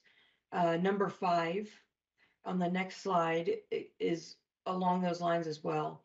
Negative outcomes, um, public health measures, and- and sound policies around that. So if we'll go to the next slide. So we took those, and I went through all that quickly because we've covered that in, in every meeting and it's also in our formal charter.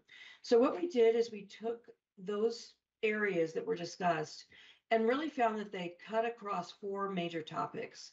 And that's how we're going to cover this. We're going to start with, and we'll, we'll have recommendations. So pilot projects, safe use of AI as topic two.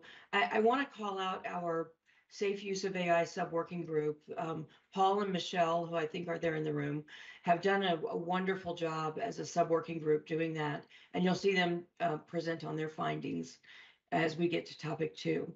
Topic three is spectrum sharing. As I said, we'll touch that lightly. It's covered in depth by a group you'll hear, hear from later today um, with their own work. And topic four, uh, just the use of AI in telecom as operations. So that's, we found that to be a rich topic as well. So next slide. So in our results and outcomes, you'll see recommendations in all four topic areas. You'll see detailed briefings on these four topics, and that's that's why this presentation is so long. We included detailed presentations on those so that people can review these later at their leisure.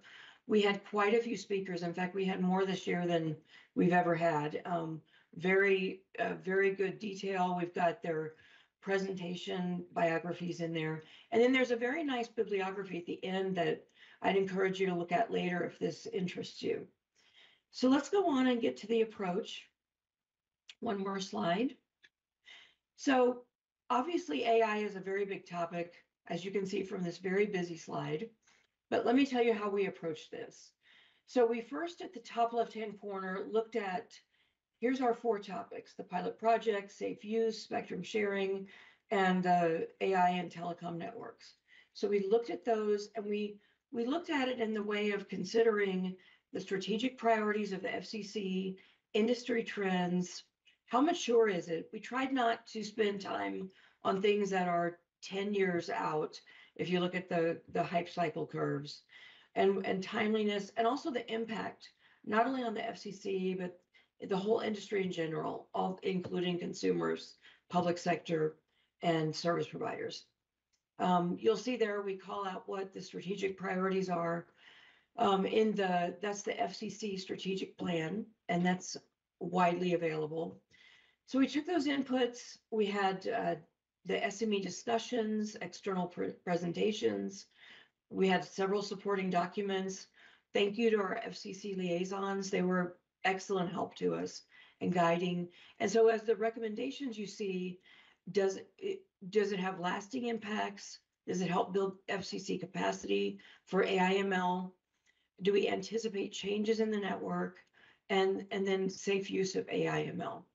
So with that, I'm going to let us turn into the meat of this and on to findings. And Adam, I think you're up. Uh, So I would say the, the first one is uh, that if you look at uh, AI and ML, um, it's artificial intelligence, it's machine learning, uh, but there are a lot of other algorithms that are data-driven. uh, There is computing, uh, and each of those is in fact necessary. Uh, And the promise is really the solution of complex problems and enablement of new uh, capabilities that are important to telecommunications, and they're the kind of things that were in fact very hard to do in the past. Uh, The other part of this is really the avoidance and elimination of negative impacts. Uh, And, uh, you know, when you look at the industry uh, as a whole, I think what we're finding in our systems is softwarization of almost everything, uh, disaggregation of what the network actually means, uh, and that the network also, uh, uh, I would say, faces lots of hazards. So AI and ML have a role in playing, uh, in dealing with those. Uh, I put up a couple of things from, uh, if you could go on to the next view graph, please. Uh, a a couple of things from the past, uh, from, uh, uh, I would say, wise, wise sayings that you can come across. And the first one of those is um, from Roy Amara. It's called Amara's Law. And that is, you know, we live in a world where there's a lot of hype. We tend to overestimate the effects of what technology can do in the short run, but really badly underestimate what it does in the long run. And therefore, thinking about uh, uh, that future uh, is quite important. Uh, Alan Kay, uh, if you really want to uh, predict the future, be part of inventing it. And then last one is from Yogi Berra, a couple of those, and that is if you don't think about it, you're going to end up in the wrong place. Uh, If you look at the hype curve, uh, this is from Gartner uh, 2022. uh, There are quite a few things that show up on that hype curve that use AI in uh, very intensive ways. Almost all of those are on a learning curve. So the first lesson I would like to impart is, as much penetration as there has been of AI and ML and other techniques uh, uh, in our networks and telecommunication system, we are still very, very much on a learning curve. Uh, Next thing is, um, uh, if you start taking a look at uh, what's in front of us, uh, it's very easy to try to simplify things as much as possible and do a few sound bites. Uh, This is actually very complicated, very convoluted, and uh, I hope uh, uh, in today's presentation we can show off some of that. Uh, And then the last one, called the zebra principle, is as complicated as it is, uh, you still have to apply common sense.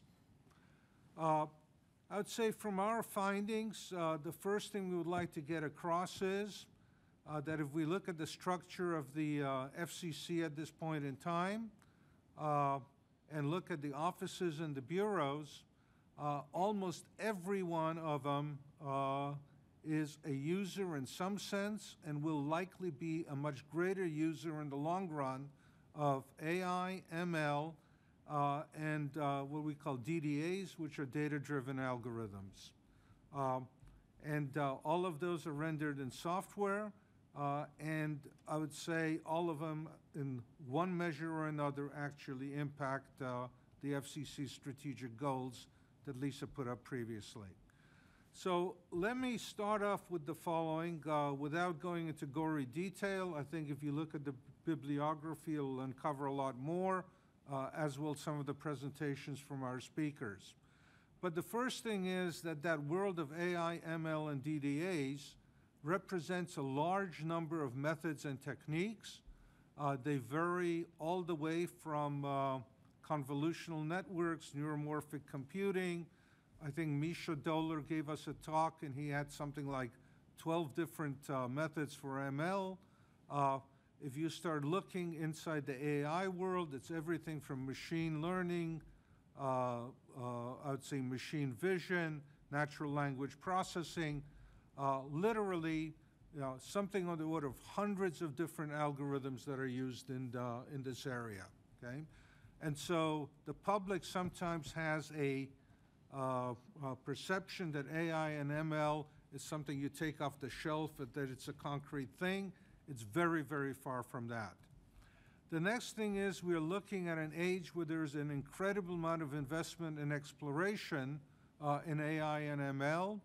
Uh, I pulled the figures from both PitchBook and Crunchbase, and uh, the investment in startups in uh, 21, I don't have the 22 figures, uh, was just north of 60 billion bucks in startups uh, working in AI and ML. Um, and I would say roughly a third of them had something to do with telecommunications. Okay, so very intensive uh, amount on that. Uh, if you look at the federal investments, you look across the R&D agencies. I think Michelle uh, Thompson went through an experience uh, as part of a uh, speaking tour. Uh, almost everybody was relabeling what they were doing as AI and ML uh, because that's where the funding was actually happening. Okay, uh, and as part of that, there is a national strategic plan in this area, and I would say. As part of that is almost a tripling of the kind of budget that goes into this, so there are great expectations. Uh, Okay, I think as, as I came, uh, as I said before, we are on a learning curve. Uh, While there are a lot of great results that have been achieved, uh, there is also considerable understanding that AI and ML techniques do have shortcomings, and a lot of the effort going on right now is trying to figure out how to deal with those, okay?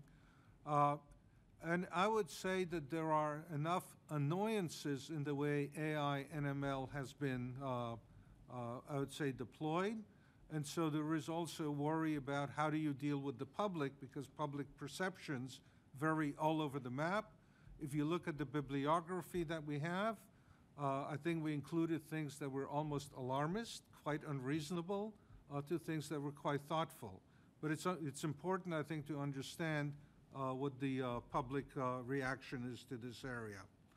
Uh, The next thing is that uh, if you look at AI and ML, uh, it is already in common products and services and all over the telecommunications sector, okay? Uh, You know, if you have chatbots, uh, things of that sort, uh, you look at the hyperscalers and what they do at this point in terms of the algorithms that they run, uh, the algorithms behind uh, advertising of what shows up in front of you, uh, AI, ML all over the place. Uh, and the same thing, I think, from our speakers, uh, uh, almost all over uh, the telecommunications sector. And I'll say a little bit more about that.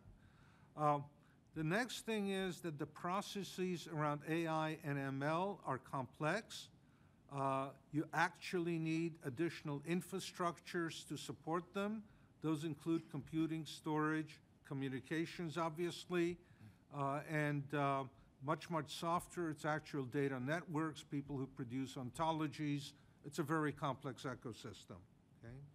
Uh, And so if you, uh, you know, and I'm not going to go through this in, in a lot of detail, uh, but to actually take an application of AI and ML uh, and go from development to operations, uh, you start off, uh, I would say, with uh, uh, a very simple thing, and that is uh, identify the problem you actually want to solve.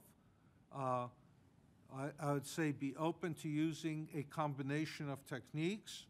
I think from a lot of our speakers, the message was, if you're looking for a solution, AI and ML may be a part of it, but don't forget that there are other parts that work in concert with that that may be just as important. So if you look at uh, the kind of uh, cycle that you have here, you have to design a model, you have to train it, you have to test it, uh, you have to figure out what data to supply to it, and it tends to be a very iterative process. There's no magic here, uh, and there's a lot of hard work and there's a lot of expense associated with it. Uh, If you then want to go through and do a pilot, again, the complexity, uh, I would say, uh, rises considerably uh, because you now have to have a form of sensing. uh, Your inference engines, which tend to run almost uh, two to, anything from three orders to six orders of magnitude faster than the training cycle, all the stuff that goes around deployment. And um, When you start operating something, uh, again, you learn, you ingest data, uh, you upgrade stuff. Okay, and so what you end up with is a very disaggregated system with resources all over the place for computing, storage, and communications. other components that it has to be uh, integrated with. Uh, and then software, which has the AI models, it may have simulations that back everything, your control system, an operating system, and applications. And I think uh, if you look at uh, this illustration from McKinsey, it says to actually end up with a piece of uh, something that works for machine learning, uh, uh, you have sort of, uh, you know, the basic idea at the center. Uh, you have to do something in a pilot, the resources grow, and then when you get it out to be operational, uh, it's actually a very complex system. It has the kind of, you know, we hope it has the kind of value that you want. I think McKinsey did a number of surveys of metrics. What they discovered in that is that something like 74% uh, of almost mo- all initiatives in this area actually do not deliver what they should. Okay? And so, uh, you know, I think while we're very enthusiastic, while we think there's a lot of value, I think there's a reality factor that goes along with it and should be considered seriously. Uh, the next thing is um, if you start looking at the infrastructure that accompanies AI and ML, uh, it uses that computing world all the way from the endpoints uh, to something that ends up in the cloud, uh, the hyperscaler data centers, uh, and also uh, wide use of uh, high performance computing resources. And it really is distributed. And there is a lesson uh, from this because AI and ML is being used widely outside of telecommunications. And one of the things it's doing, it's, it's really changing the patterns in which we use our networks. So when I start looking at the underlying pieces, it's important to also understand that when you look at computing and chipsets, the chipsets used in computing for purposes other than communications also have a profound impact, okay, on the kind of patterns we end up with. Okay, and a very good example of it is uh, things like uh, uh, devices we hold in our hands. Uh, they're likely to have anything from 50 to a couple of hundred applications. Many of them are live. Many of them are pulling data from all over the place. Okay, and uh, it really profoundly changes the requirements for the kind of networks that we build. So I think in scouting the technology around AI and ML, uh, there is two sides. What can it do for telecommunications? But the, but the other side is what requirements does it actually levy on the telecommunications world? Uh, again, I would say sort of uh, uh, a expression of the complexity that you'll see, things that go from real time to slow. Uh, real time, I would say, are control systems. Uh, on the slow end are the cycling systems, more likely to be done in the cloud. Uh, I would say the next one, and uh, I think we are reusing a view graph uh, that we used in 2020, uh, and that is in the AI and ML solution cycle. Uh, the amount of time spent on data, data collection, data labeling, things along those sides, actually tends to dominate uh, uh, the, the effort and the cost, okay? And at the same time, uh, I would say almost equivalent to that is the amount that has to go into testing to make sure that the algorithms and systems that we have actually work properly, okay? If you then uh, take a look at that, uh, that data portion, uh, okay, and again, we're using it from the 2020 briefing, uh, has all kinds of types. It's technical data, operational, performance outcomes. It could be consumer data. Uh, it could be documentation of various kinds, things that are surveys. It could be legal rulings. Data comes in all forms. It has a number of characteristics. Uh, there are seven or eight of those. I'm not going to go through that. Many, many different kinds of sources. So again, when you come up with an AI ML solution, you're likely to be, again, pulling data from multiple sources at the same time. Uh, to do that, you need data fusion, uh, the effort that goes around it, co-registration of that data for certain purposes. Uh, we'll be talking about that when it comes to our pilot. Uh, and then there are issues of who owns the data, uh, all kinds of regimes that restrict it, uh, so those have to be taken into account. So our finding is that the curation of data sets is an important aspect of operationalizing AI and ML. Uh, it's important for going up that learning curve. And if we look at our public institutions and funding, uh, it happens to be one of the gaps that we have in terms of how that data uh, can actually be collected, uh, how it could be shared among entities that aren't used to sharing it. So lots of legal and policy uh, implications uh, that come along with that. Uh, so I think what I would like to do is, uh, I think we did this at a fairly high level. There's a lot more information in the deck. But what we would like to do is spend most of our time on summaries and recommendations. And so I think on these, uh, I'm going to cover the first one, uh, which deals with pilot projects. Uh, again, it's going to be fairly high level for the time being, uh, followed by Paul and Michelle, and then Lisa is going to do the back end of this. So the first thing is that there are a number of cross-cutting cross-cutting issues. Uh, AI, ML, I hope we, we sort of build the picture for you, requires resources that go, that go around it. Uh, they require data. Uh, uh, they play a central role in uh, uh, digital transformation of organizations and the way they work. And that digital transformation is something that's happening both in the commercial world and across government organizations. So lots of uh, policies, uh, lots of white papers uh, from GAO on it.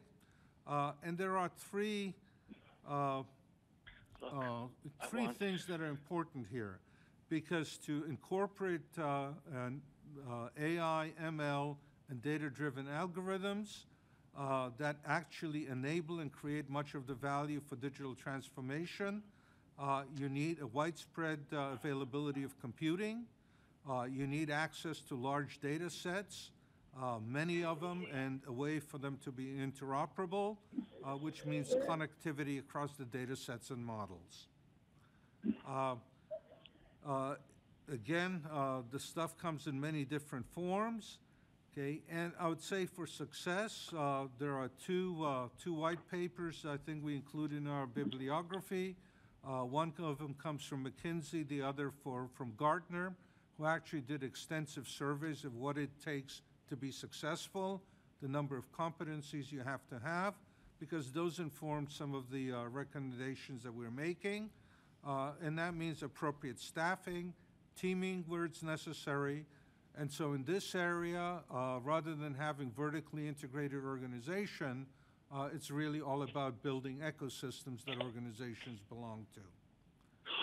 Okay, I'm going to skip that and just jump to the uh, uh, recommendation.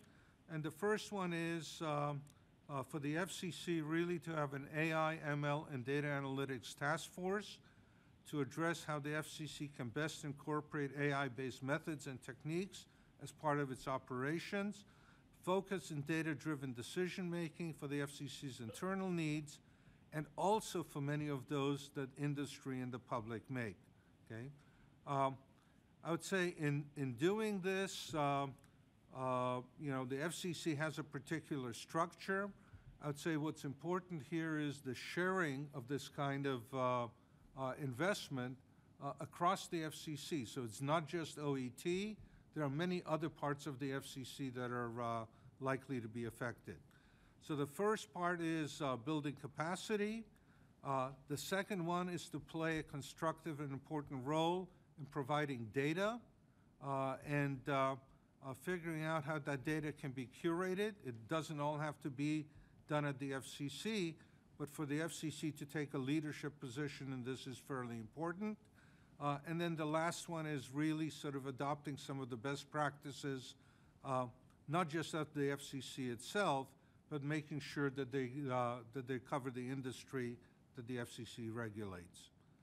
Um, I would say the second one is uh, to sort of satisfy the technical and operational needs for access to critical data sets that broadly support the exploration of AI and ML solutions within the FCC, within the industry, uh, and the research community. And this includes the formation or adoption of forums uh, where the needs can be identified, long and short-range plans developed, required data collected, vetted, analyzed, provided, and actually curated. Uh, So there are three parts to this uh, uh, that really sort of qualify that high-level uh, recommendation. I'm not going to go through and read it, uh, but I would say doing this really incorporates, addresses a key bottleneck to progress uh, and innovation is really the availability of those kind of data sets uh, and somebody who cares about it enough that this industry shows up as the leader in how it's done. Okay, so I think that was important.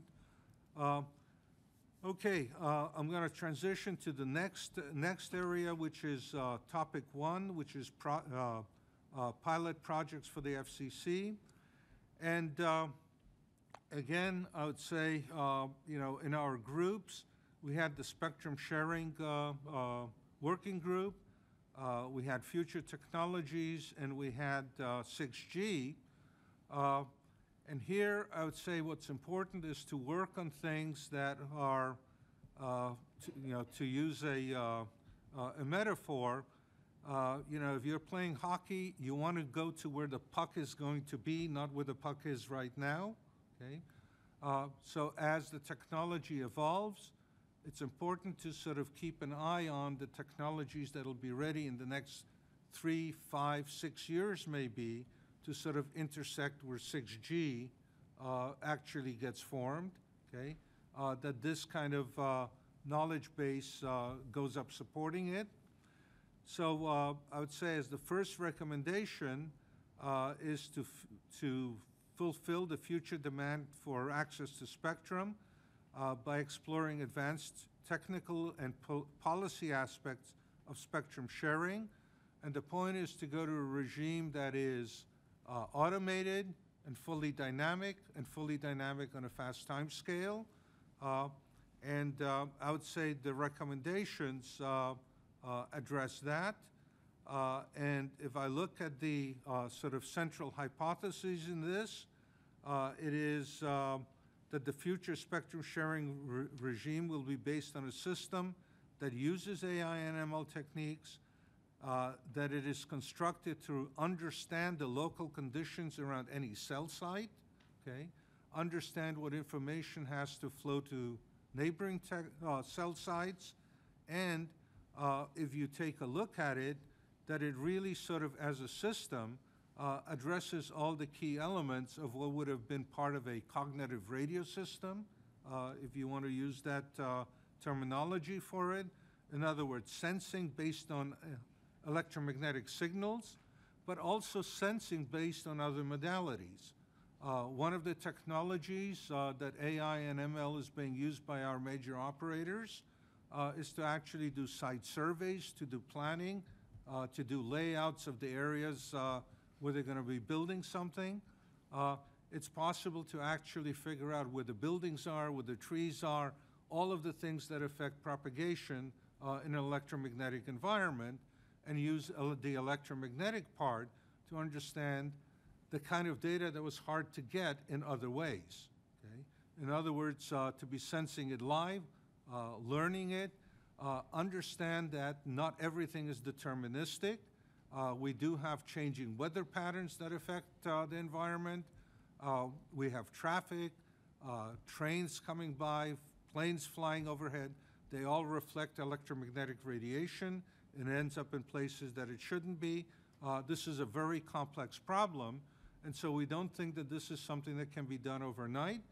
Uh, but you know, sort of launching a, uh, I would say, a pilot project that actually starts off with some careful planning, uh, teaming with other organizations that have competency in this area, uh, and then ends up, uh, I would say, over some period of time, uh, with a systems model that can be shared with industry and everybody else, and acquire the correct data sets. Uh, This is a starting point for being able to do that. So what I'd like to do uh, is say that there are other uses of AI and ML Uh, The FCC is a source of data for the industry and for the public.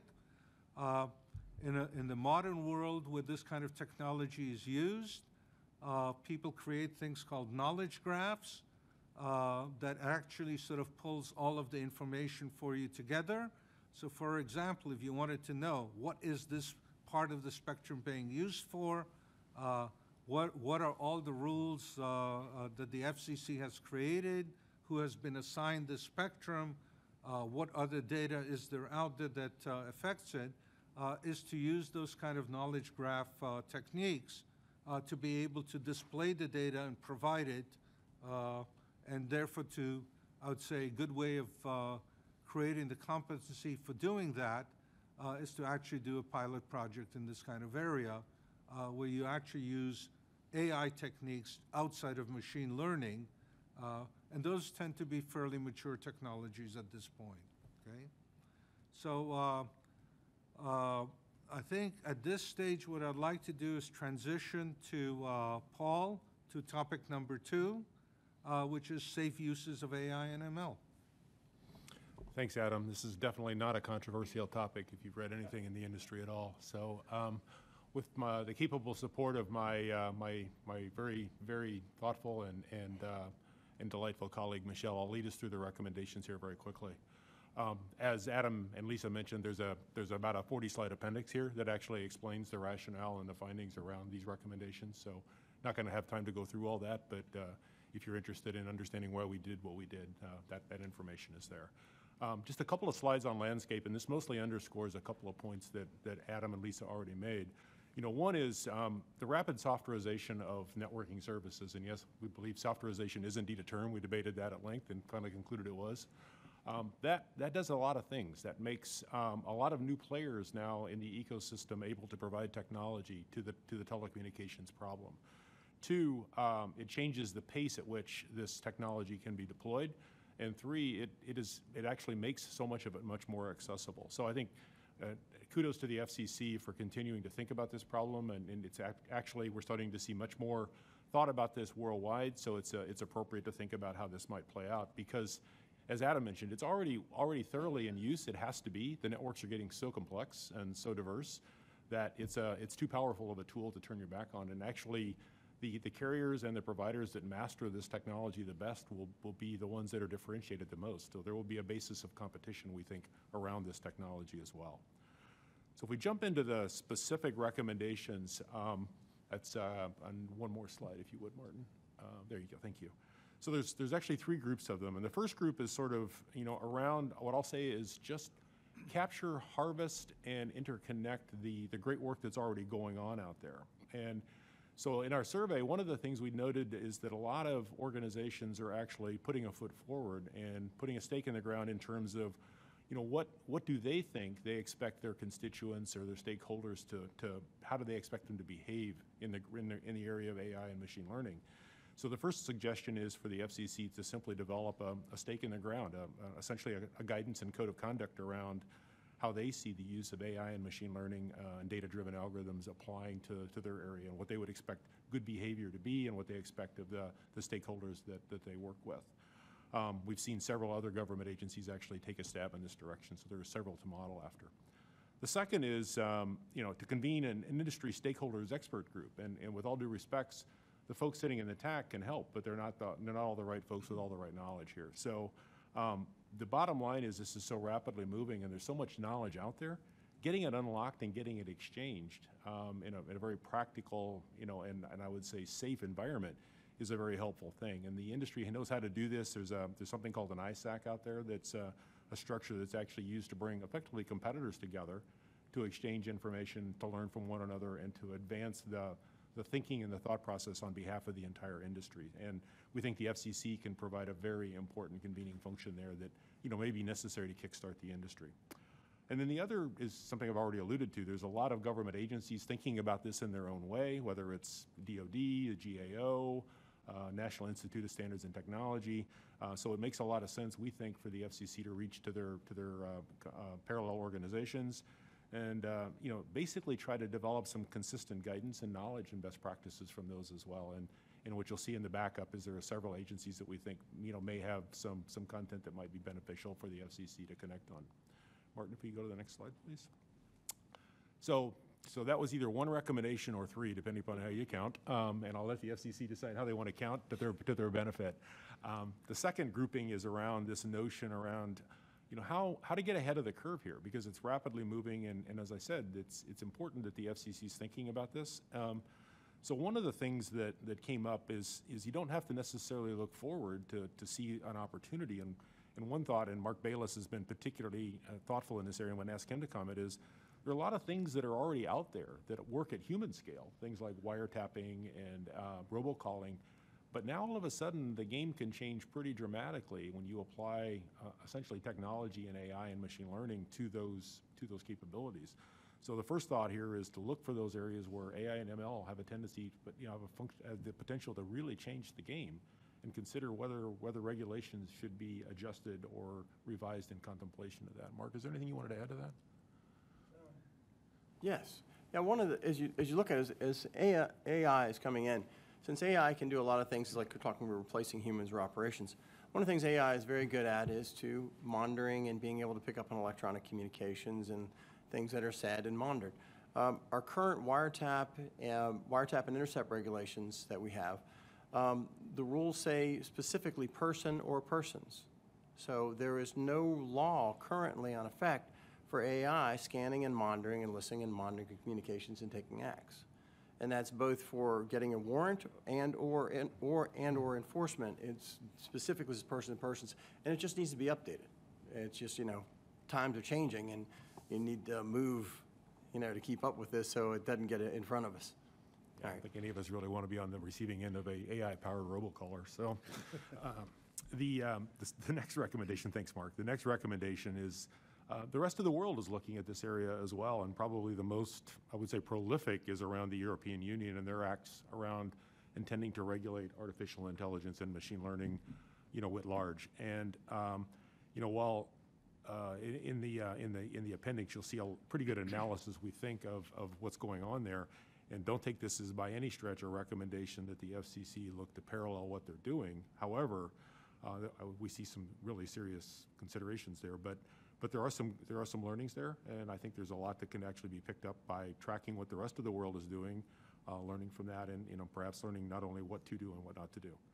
Um, and then finally, the National Institute of Standards and Technology has developed something that they call the AI Risk Management Framework. So it's a very nascent product. I think they expect release 1.0 to, to show up early next year um, and put that out. And fundamentally what it is, is it's kind of a parallel to the Cyber Risk Management Framework that is intended to be a process or procedure to essentially assess risk of AI and machine learning context and applications.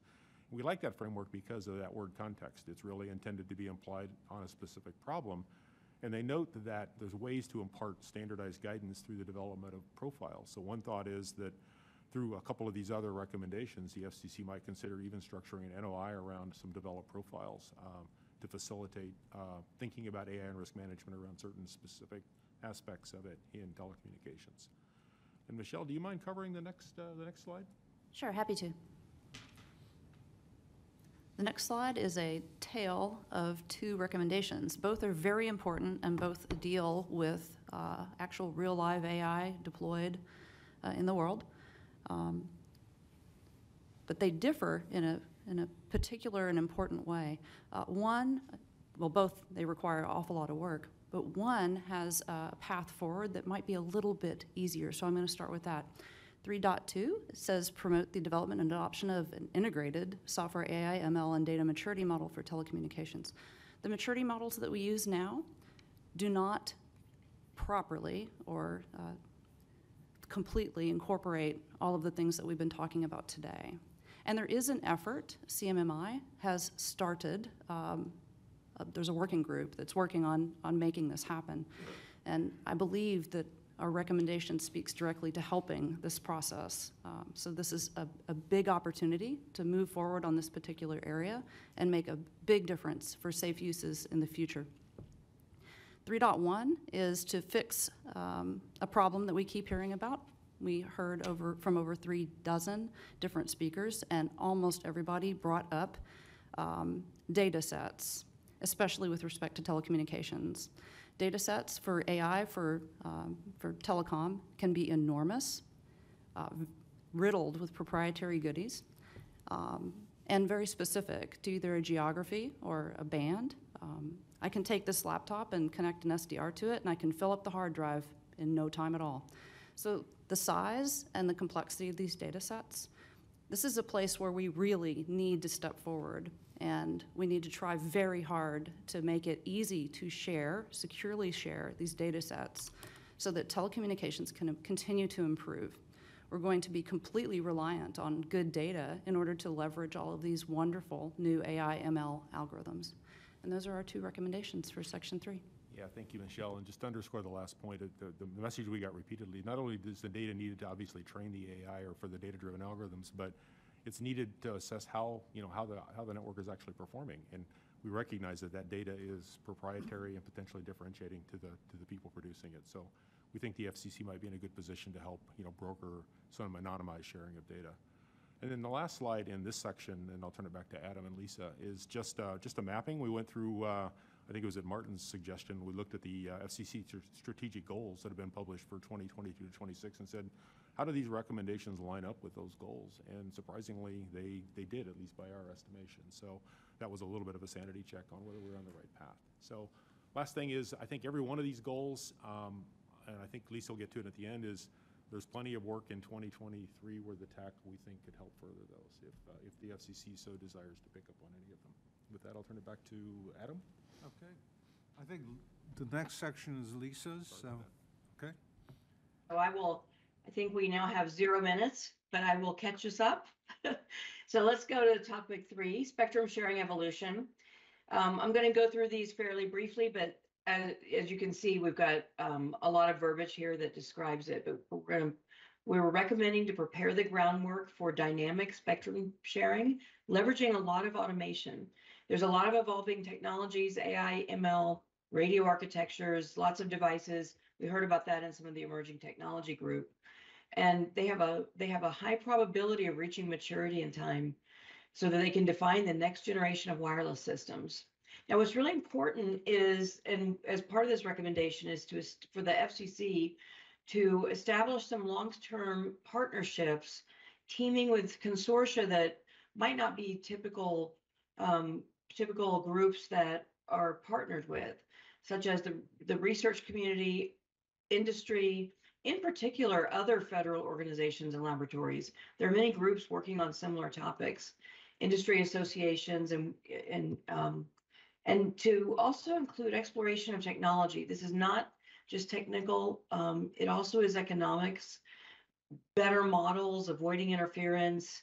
Um, there's a lot of hunger in the industry to uh, to get value out of these networks and to gain more value from the spectrum and also the exploration of policy options as part of the plans to eliminate the uncertainty. As we all know, uncertainty makes uh, makes folks shy with investing dollars. So if we if we can have policies that help stabilize, eliminate uncertainty, especially over a longer period of time, we find that to be very advantageous. Let's go to the topic four on the next slide. So we have three recommendations here. One, and they're, they're largely intertwined. So prepare for the evolution in the network requirements driven by the advances in the technology. So our, our group touched on this um, in a, a prior uh, a prior session, I believe in around 2019, and we did note, and I'll, I'll summarize all this, kind of this one and the next one. We noted that there's going to be an intertwining of network technologies with with compute and storage.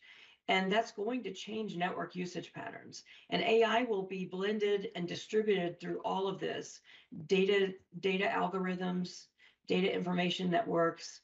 The things will be different. And, and another slide touched on in a prior presentation this year, but networks were largely consumer to consumer oriented. We had, you know, of course, the the national network, but now we're going to see quite a bit of enterprise, federal, um, industrial usage of the network, and that's going to have a, an impact on how the networks are built. So we're recommending the FCC to develop roadmaps and models to understand these changes, how it impacts the nation's networks, and how we can remain in a very competitive economic position for our telecommunications network.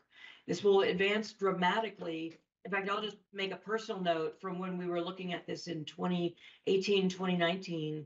We're seeing dramatic advances in how networks are being used, deployed, allocated. And AI is coming more and more to bear in the operations, in the the the usage, and in the distribution of the traffic. So let's go to the next slide. So the second one is we're recommending to conduct a comprehensive study to understand the growing complexity of these networks, all the things that I just talked about. Um, we're going to see more automation. We need to also provide equitable access and flexibility so that we can meet the needs of the emerging services and applications. Um, in particular, I, I, things will things will be, you know, again, the traffic patterns will be changing. It may become more peer-to-peer rather than peer-to-hub, and um, the management and support are going to be even more critical. So for the next slide, we'll talk about the third one. So it's very important to be active participants in these emerging bodies, um, both standards and open source, responsible for the software, infrastructure, and practices. And I'll also call out the data sets.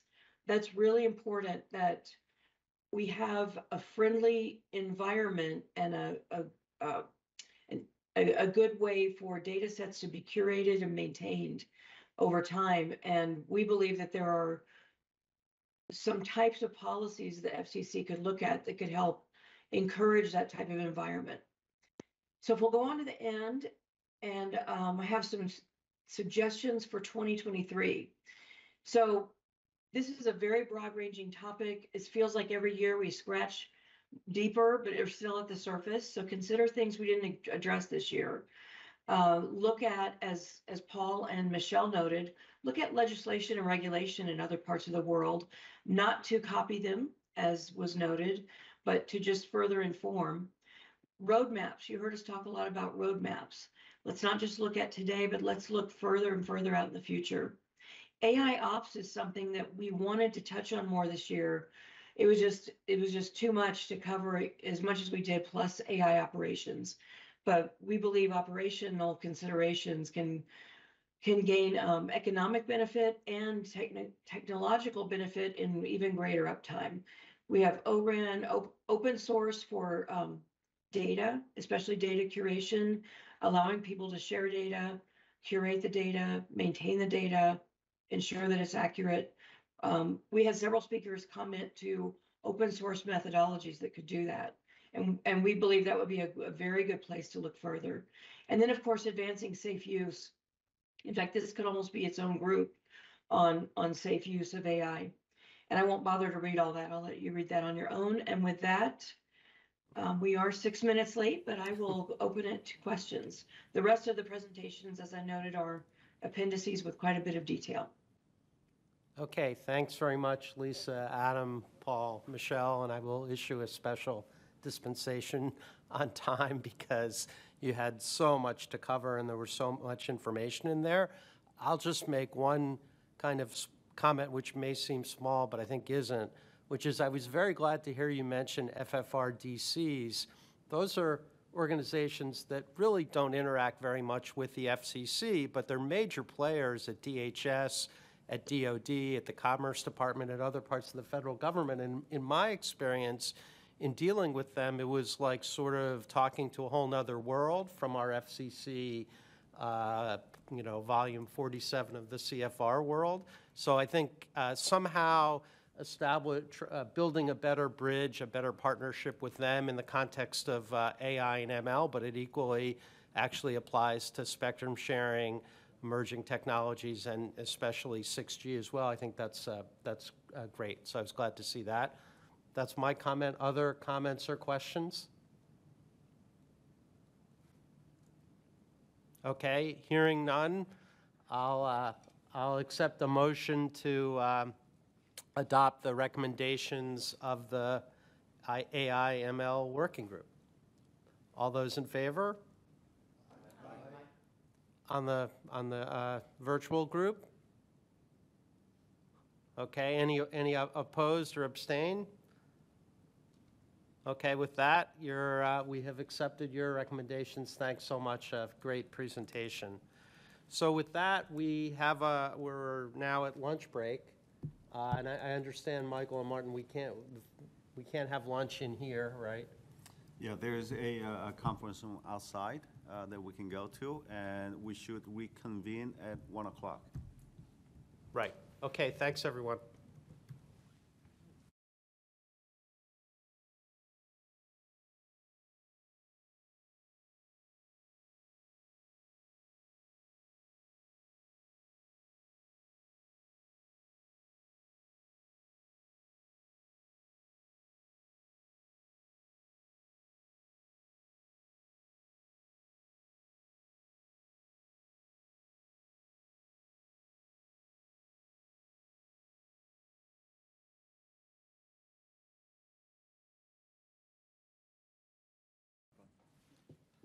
Okay, welcome back, everybody. We are now set for our third working group presentation, the Advanced Spectrum Sharing Working Group. Andy and Monisha, take it away. Okay, that was fast. Thank you, Dean. Um, okay, so uh, Dr. Monisha Ghosh and I uh, co-chair the Spectrum Sharing, Advanced Spectrum Sharing Working Group. Um, and so let's go to the next slide, please. These were the, the list that we had a, well, uh, we had good participation in our working group over the time we were meeting. These are the, the companies, the entities that participated in the working group. And if you go to the next slide, so the agenda for today, and I will point out we have uh, 10 dB fewer slides than the last presentation, so it'll go a little bit faster, I hope.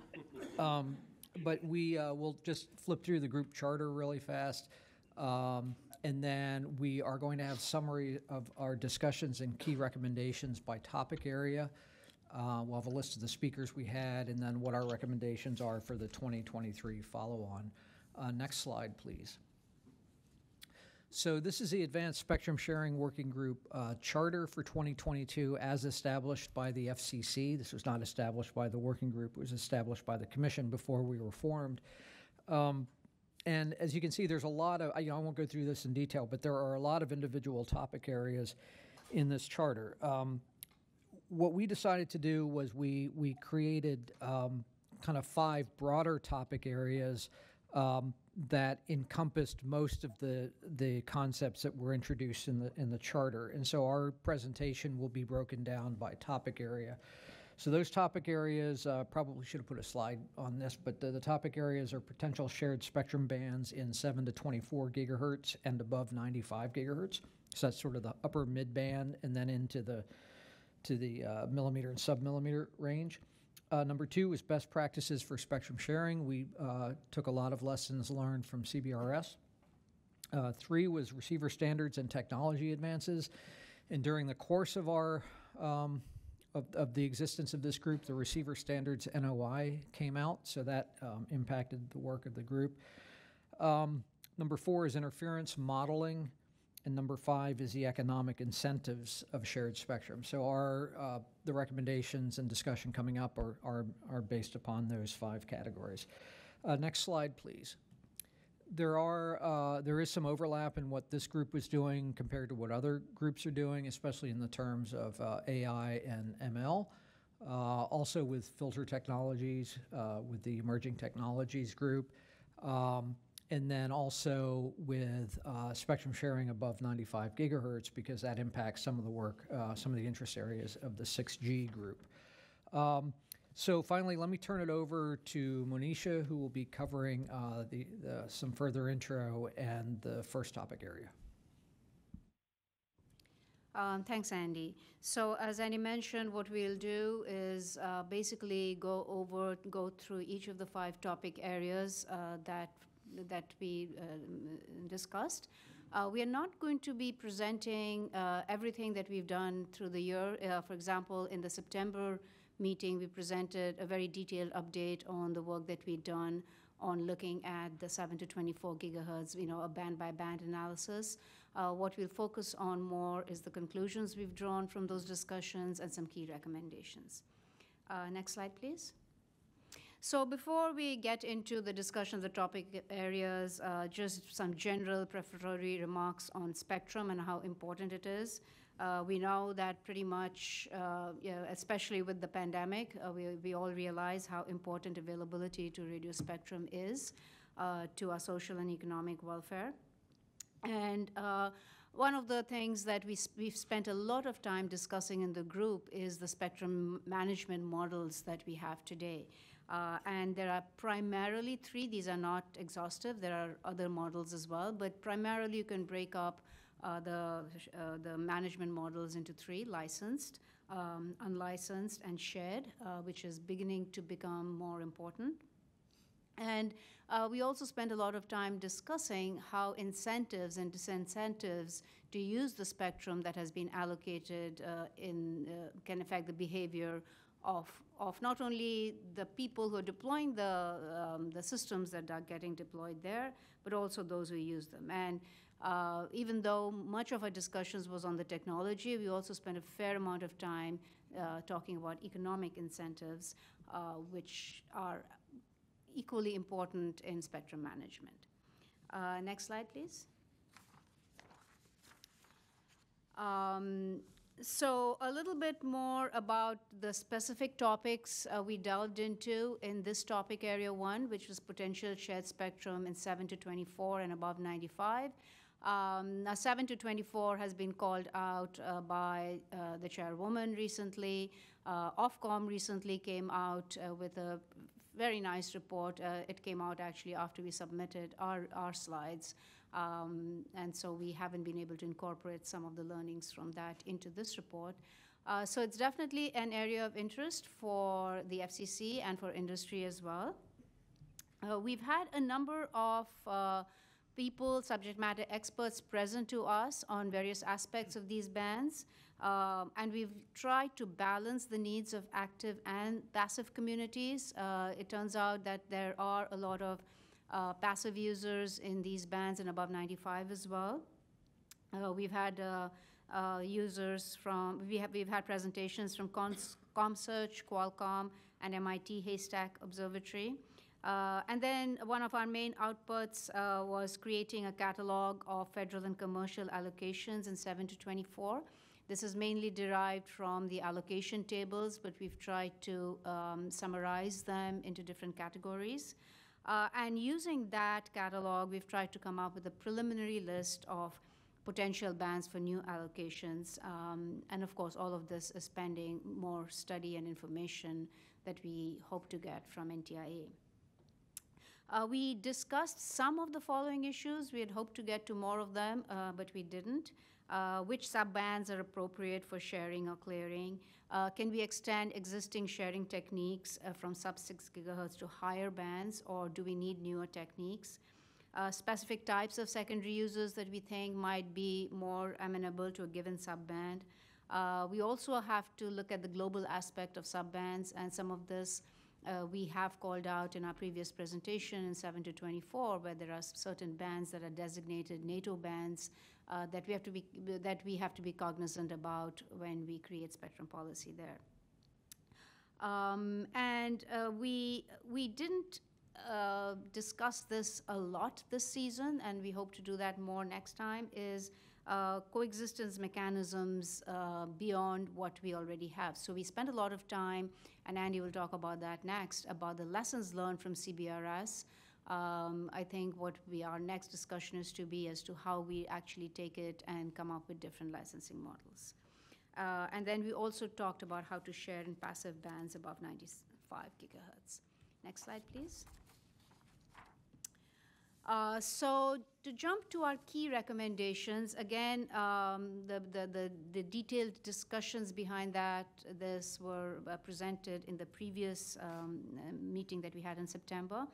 But the first and foremost, uh, and this is not a surprise, uh, were, uh, our first recommendation is that FCC and NTIA should work together to perform a detailed quantitative assessment in this band This is similar to one that was done in 2016 for select bands to 3.5 gigahertz. Um, when we took a look at that, um, that report back in 2016, uh, we felt that was really the level of detail one would need in terms of um, probability of use, where these bands were used, being used, the duty cycle of usage.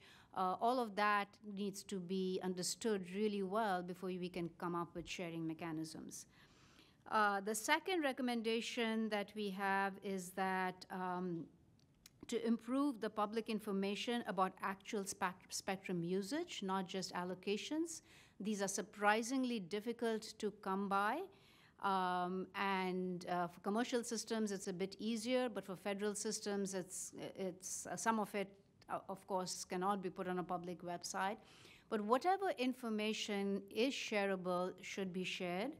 Uh, we propose collecting in an o- online website, the Spectrum Wiki that Andy had started off, and which, uh, you know, Spectrum X, which is the National NSF Center, we are thinking of trying to do something, revive it, and keep it going as a repository of uh, uh, spectrum usage. Um, uh, classified information obviously cannot be uh, disseminated in that fashion, but it could be made available to stakeholders with security clearances um, in a process similar to how NSC is right now managing the 3.1 to 3.45 gigahertz uh, band. Uh, we came up with a list of preliminary list of potential bands for sharing. Uh, we want to make uh, we want to make it clear that we are not recommended that we go off and investigate these just these specific bands. But this list was drawn up based on our limited knowledge of what we know is going on in some of these bands. Um, and um, uh, again, more details were there in the previous presentation. So 10.7 to 13.25 is one. There's mostly non-federal satellites in there. Uh, and in fact, there is an NOI right now out uh, on part of the band, the 12.7 to 13.25, which is one of the few allocations in this entire 7 to 24 that actually has no federal allocation. So it's mostly commercial, which uh, makes access to information about what's going on there easier for us. 14.0 to 14.75, uh, there's a lot of space research uh, there. A lot of those are Earth to space links, uh, which make it easier to share with. Um, there are also some federal users that are mobile satellite and a, and a lot of uplink usage, satellite uplink usage, uh, which again makes make it more amenable to sharing. And again, 17.8 to 18.6 and 18.8 to 20.2, based on our analysis of the federal allocation bands, um, again, those seem as if they could be good for sharing. Um, there are many ways that these bands could be shared, uh, and each has its uh, own value and benefits. Uh, you could uh, try to look for exclusively licensed spectrum, preferably that's contiguous, uh, because the wider bands you can get that are contiguous, the, uh, the, the more efficient use can be made of it. Uh, you could also have non, uh, non-contiguous exclusively licensed spectrum, and 4G, for example, has done a great job of uh, channel aggregation, where you can take pieces of spectrum where they're available and aggregate them together. A mix of exclusively licensed and shared spectrum. Uh, the, the, the, we've seen that happen with LAA and uh, in the Wi-Fi bands. Uh, and there are other ways that we can share spectrum. And so, depending on what the usage in these bands are, what the what the applications, who wants to share those bands, there are many, many licensing models that can be explored. Um, we also would really like to assess some bands uh, more, like the 7 to 8, which by virtue of just being lower in frequency uh, possesses desirable propagation characteristics that uh, folks would like for mobile terrestrial, for example.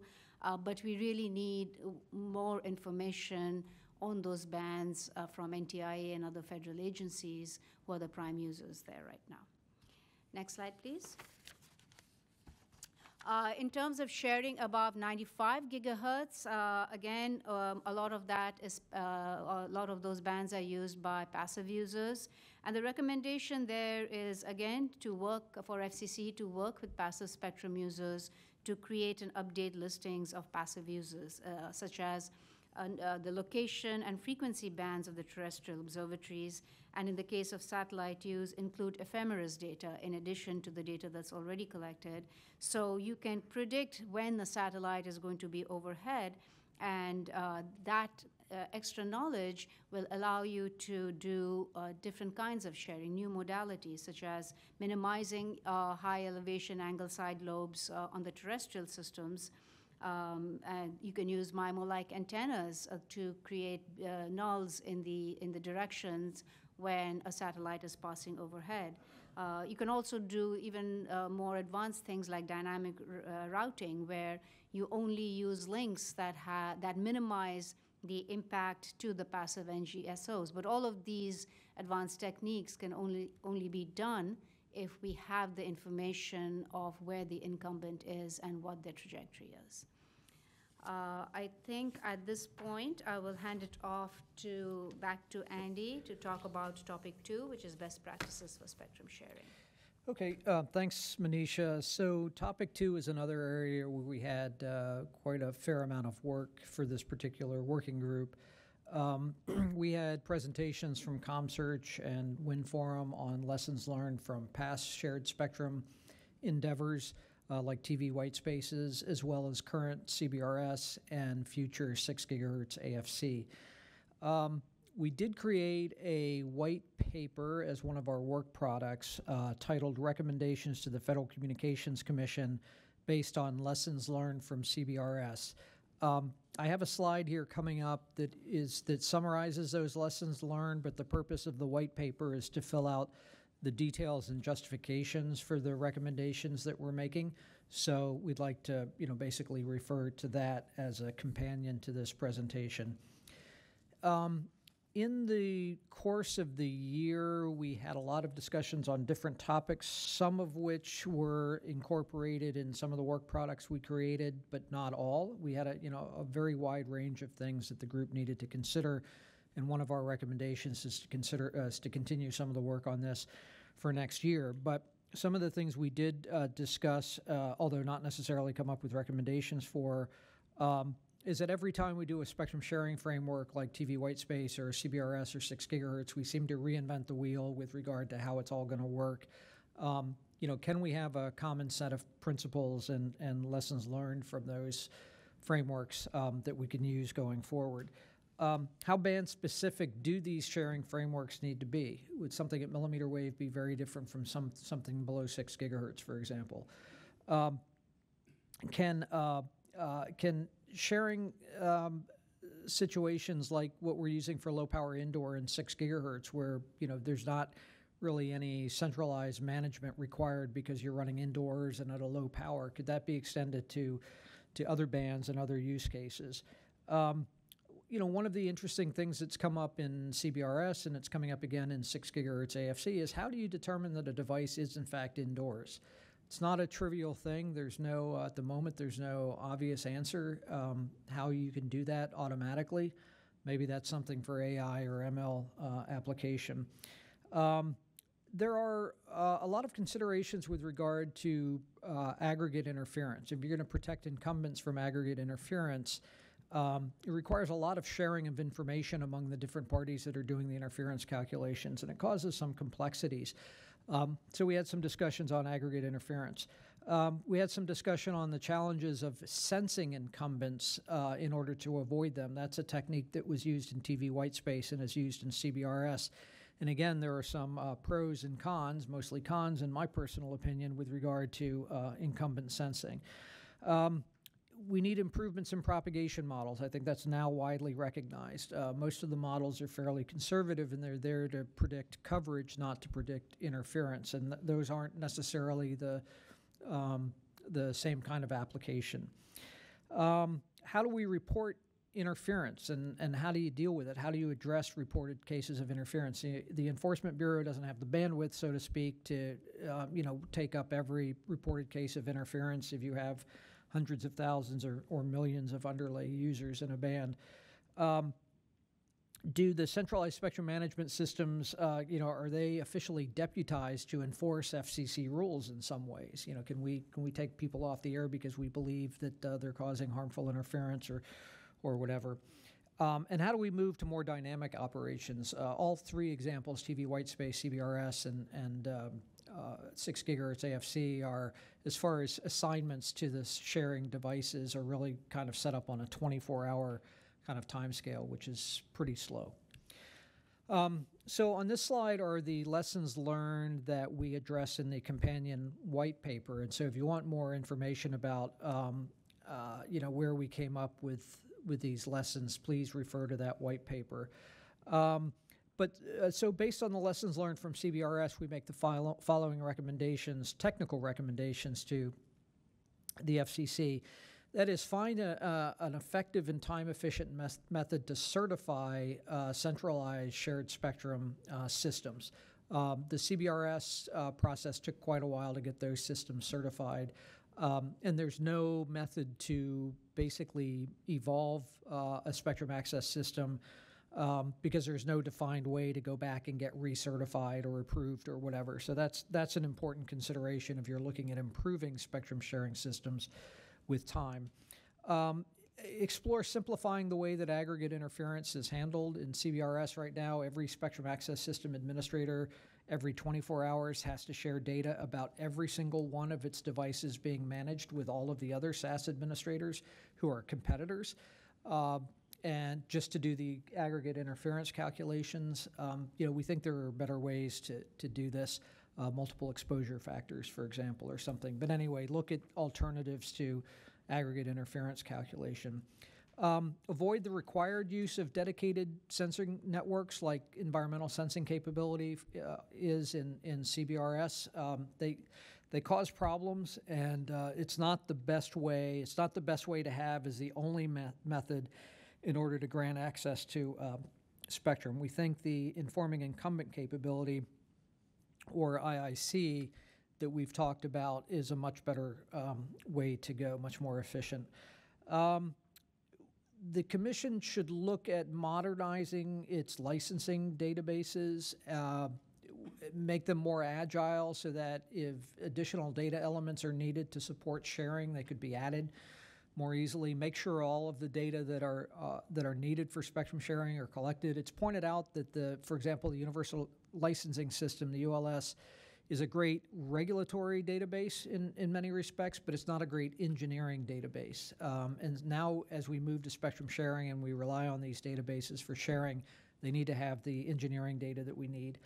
Um, set the expectations clearly for all parties in a shared spectrum band. One of the things we found in CBRS was that people who bought licenses or people who operate under, under uh, general authorized access were surprised that you know in San Diego that their service gets disrupted on occasion. Well, San Diego is you know one of the major homes of the Navy, and the whole band is predicated on on the the DoD having preferential uh, treatment in that band, and so it, we we are surprised to see that not everybody knew what the conditions of the band were, even though we knew them very well. Um, so that's also, you know, an issue of proactively publishing uh, reference material on all of the encumbrances. So Wireless Innovation Forum did that for the CBRS band, but we're not a regulator and we can't make people read that before they go to an auction. And it would be um, probably a good idea if the FCC could make that information uh, more readily available to potential bidders.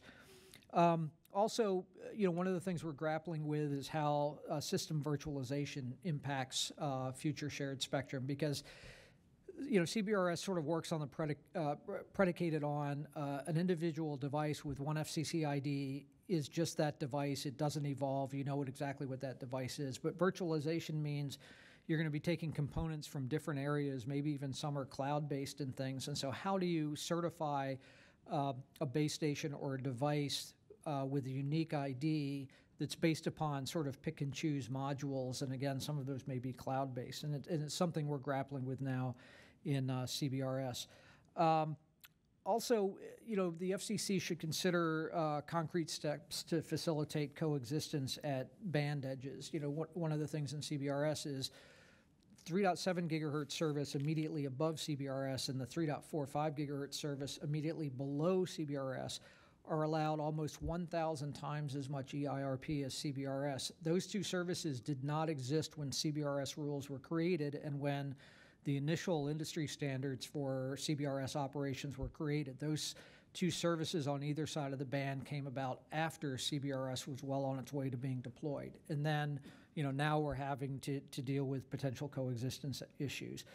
Um, and then also, this is more of a lesson from TV white space, but uh, it also applies to CBRS, especially with a former example.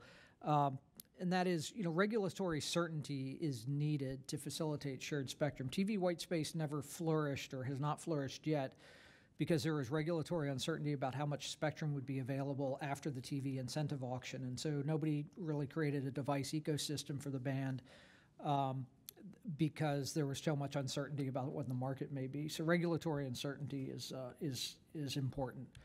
Um, a couple of other, and this is not this is not part of the white paper, but a couple of other uh, recommendations in the spectrum sharing uh, best practices for spectrum sharing domain.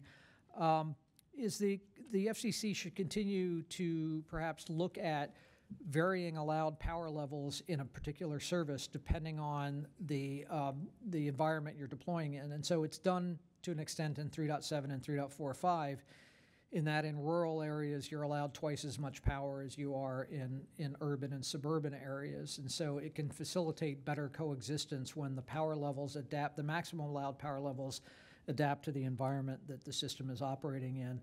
Um, and then also we've been looking a lot at the shared at the at the uh, the local licensing model that that Ofcom is using in the UK uh, that allows uh, facilitates very simple licensing of licensed or shared use of licensed spectrum where the licensee isn't using it. And, it- and it makes it very easy, for example, if you wanted to uh, deploy uh, IoT type devices in a factory, that perhaps you could locally license um, spectrum from the macro operator in the area if they weren't covering that particular area, or rural operators could very easily um, sublicense data um, from a macro carrier that wasn't interested particularly in serving that uh, license area.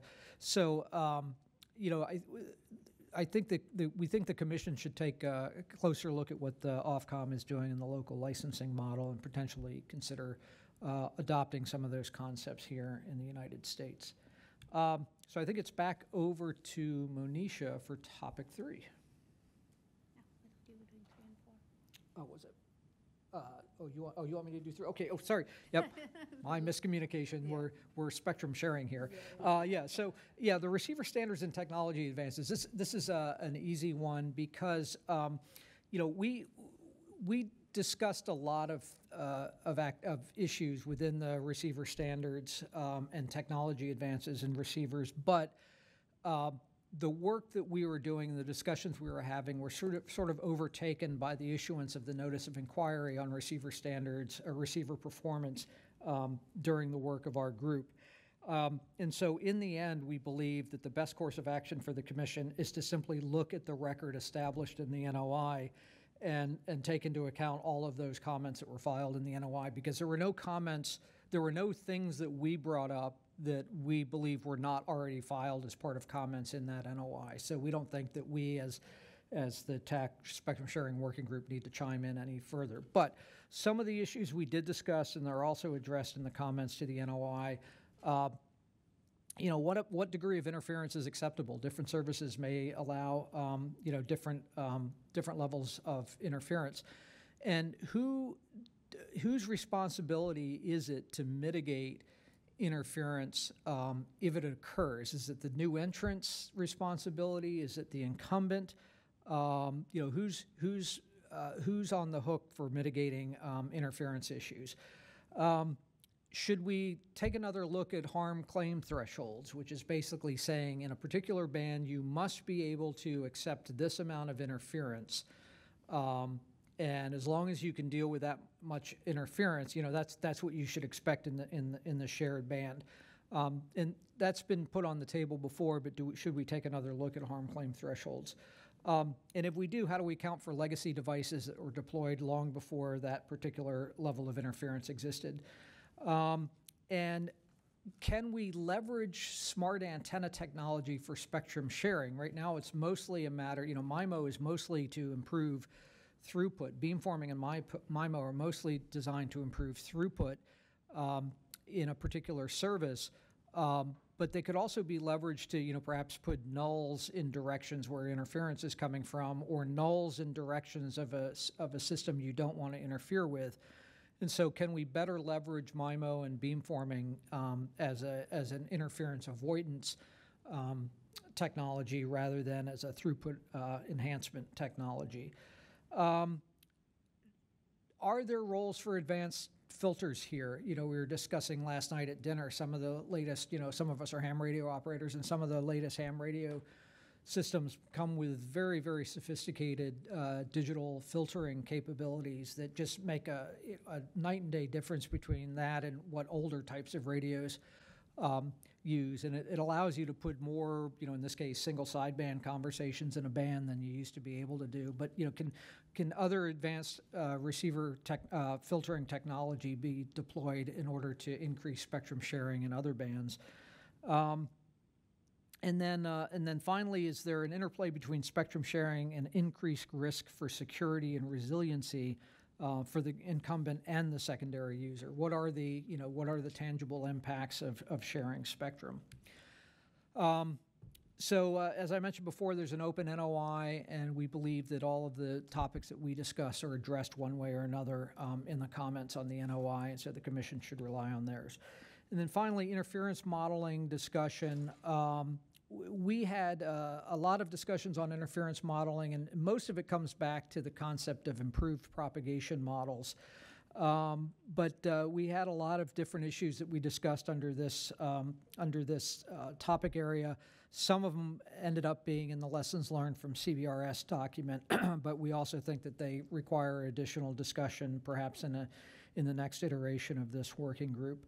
Um, the need for better modeling of potential sources of interference, uh, spatial interference, rejection uh, potential of, of massive MIMO arrays, sort of what I was speaking about earlier, but can MIMO be leveraged to actually reject interference? Um, propagation models that are focused on interference instead of coverage. Um, one of the things that we deal with in, in CBRS is that our, our interference constraints are, are based upon a mountain of worst case assumptions. How do we get around in shared spectrum scenarios, assuming the worst case in every single uh, thing, calculation that goes into shared spectrum? Uh, because that just causes overprotection, as what I believe we're seeing in the CBRS case. Um, in a broader sense, how do we deal with the statistics of interference? Um, you know, is it can you really say you will never cause harmful interference, or is it that you won't cause harmful interference 99.9% of the time? How do you deal with the interference of inter, of uh, the statistics of interference rather than a, a binary yes or no on harmful interference? Um, can we use real world measurements to feed back to the interference modeling? Um, so can devices out in the field tell us whether our interference whether our interference predictions are reasonable or not? How, how can that feed back into a spectrum access system? Um, how can we test sharing scenarios at scale prior to a rulemaking? You know, uh, from an engineering perspective, it would be best to you know deploy something in a in a test environment. Uh, in a, in a large scale and see whether sharing works before the rules are adopted. And that's not how we've been um, creating rules in, in CBRS or TV white space. Do test beds play a role? Um, lab testing and coexistence between different uh, systems. You know, how does how does 5G interact with a radar altimeter, for example? You know, let's put these things in the lab before rules are adopted and see um, see what the interference criteria really should be. Um, and then, uh, you know, finally, uh, timely sort of multi-stakeholder testing and and uh, and discussions before final rules are released, so that you don't have um, a last-minute delay due to disagreements about whether interference is actually going to occur or not. Uh, so we talked about many of these things. Um, some of them made them into the lessons learned document, um, but you know, again, a lot of these are for future study. Um, so you know, the, the low-hanging fruit, the FCC should continue to, uh, to encourage evaluation and development of better propagation models. And also, you know, they should investigate whether some of the um, data sets that the FCC itself is acquiring could be used to better understand the nature of interference. So they have all of these broadband throughput uh, things coming back. Monisha has been doing a lot of work in this in this area. They have a lot of speed test data coming back, and how how can we use that to understand you know propagation prediction uh, because we have all these large scale measurements of throughput. We know where the base stations are um, from other um, methods, and so does the throughput follow the propagation predictions, and can we use some of those data to feed back into the propagation models to improve them? Um, and so that's that's it on on uh, on two through four, and I will this time actually uh, turn it over to Monisha for topic five. Thanks, Andy. Um, so the last topic that we'll discuss is economic incentives of spectrum. Uh, this was a topic that generated very, very interesting uh, set of uh, meetings, um, and we heard a lot of uh, various, uh, you know, sometimes dissenting viewpoints. We had speakers from Silicon Flatirons and Clemson, Tom Hazlett, come and give their viewpoints to the group. We, we talked a lot about the following items. one was impact to legacy systems. Um, and the topic of whether is, is, it, is it more economical sometimes to pay for legacy systems to upgrade? Um, and can this be viable in all cases? Some cases, clearly in cases where you have fewer incumbents, uh, you can either, it, it makes more sense to pay them to upgrade their systems if that makes sharing easier. Um, and uh, that brings up the question about what are the components of legacy systems that should be looked at when you look at uh, whether that the spectrum that they are using can be shared with another entrant or not. Is it just reduced to, is it just the front end uh, filtering, or is it the entire chain? So, for example, you know, radar altimeters have been in the news lately, and there's been a lot of focus on just the front end filtering uh, or the lack of it. But it's also true that a radar altimeter has also got a lot of signal processing that it does. So how do you take uh, the end-to-end performance of a legacy system and determine how uh, susceptible or not it is to interference should that spectrum or the adjacent spectrum be shared. So in radar altimeters, it was an adjacent, adjacency issues. So uh, the impact to incumbents uh, in terms of uh, how their quality of service gets affected if um, uh, if a new entrant comes in. And this, it, this, I think, becomes harder when the incumbent is a federal user. So as Andy mentioned in CBRS, uh, the incumbent, the primary incumbent they're protecting our Navy radars, and how do we even know that they're getting interfered with? So sometimes that there has to be a feedback mechanism or some way of knowing that uh, this uh, incumbent is facing interference. Um, impacts to new entrants are usually easier to quantify and study, uh, but that's still something that needs to be considered when we are thinking about uh, what are the economic incentives to share spectrum. We spend a lot of time dis uh, discussing Coase and the Coase theorem. Uh, this is a classical way uh, of resolving conflicting property right claims. We discussed a lot about whether spectrum is property or property-like. Uh, just to just to make sure that uh, you know we, we understand how and where Coase theorems actually applies. Uh, but we do believe that having these kind of analyses uh, which bring in the economics of shared spectrum along with the technical aspects of how and which spectrum should be shared uh, are very important, especially when you look at spectrum in 7 to 24, uh, where you have a lot of federal users of spectrum, which uh, where it's harder to do these kind of economic analyses, or in bands where there are passive and science users of spectrum, where it becomes even harder to do an economic analysis of what, what is the value to us as a society to, to have systems that allow us to get beautiful pictures of black holes. Uh, so this is a topic that generated a lot of uh, discussion. Uh, next slide, please. And so we came up with the following uh, key recommendations over here. Um, and again, mainly that both FCC and NTIA, again, because NTIA is governing so much of the federal, uh, federal users of spectrum, they really need to pay attention on promoting economic incentives for entities to voluntarily share spectrum. Um, we should uh, examine pathways. The, another recommendation is FCC and NTIA examine pathways to gather information about incumbent spectrum users to facilitate better analyses. Uh, Right now, uh, at least from the TAC perspective, uh, we don't have that much information about where a lot of the bands in 7 to 24 especially are being used, and what is the, what would the economic impact be if they were interfered with or they were asked to share. Uh, We felt that the FCC and NTIA should continue to facilitate the use of voluntary market-based approaches to spectrum sharing or leasing. Uh, Some of that is happening now. Uh, We feel that more of that could, could take place um, uh, and uh, by just making things easier for people to do. Um, Wherever appropriate, uh, impediments to uh, leasing and sharing should be removed.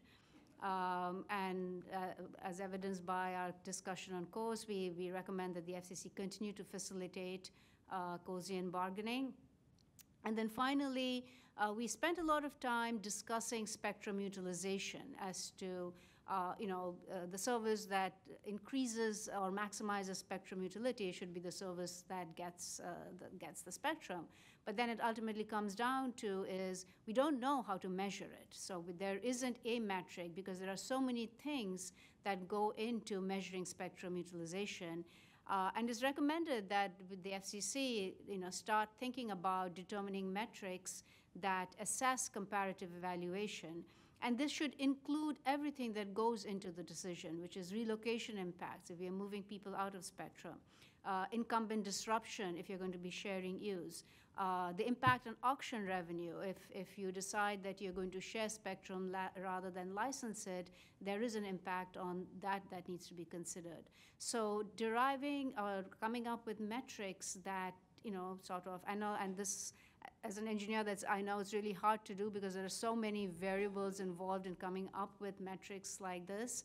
Uh, but that would be a worthwhile direction to pursue for the FCC uh, in order to get a handle on what spectrum utility is. Uh, next slide, please.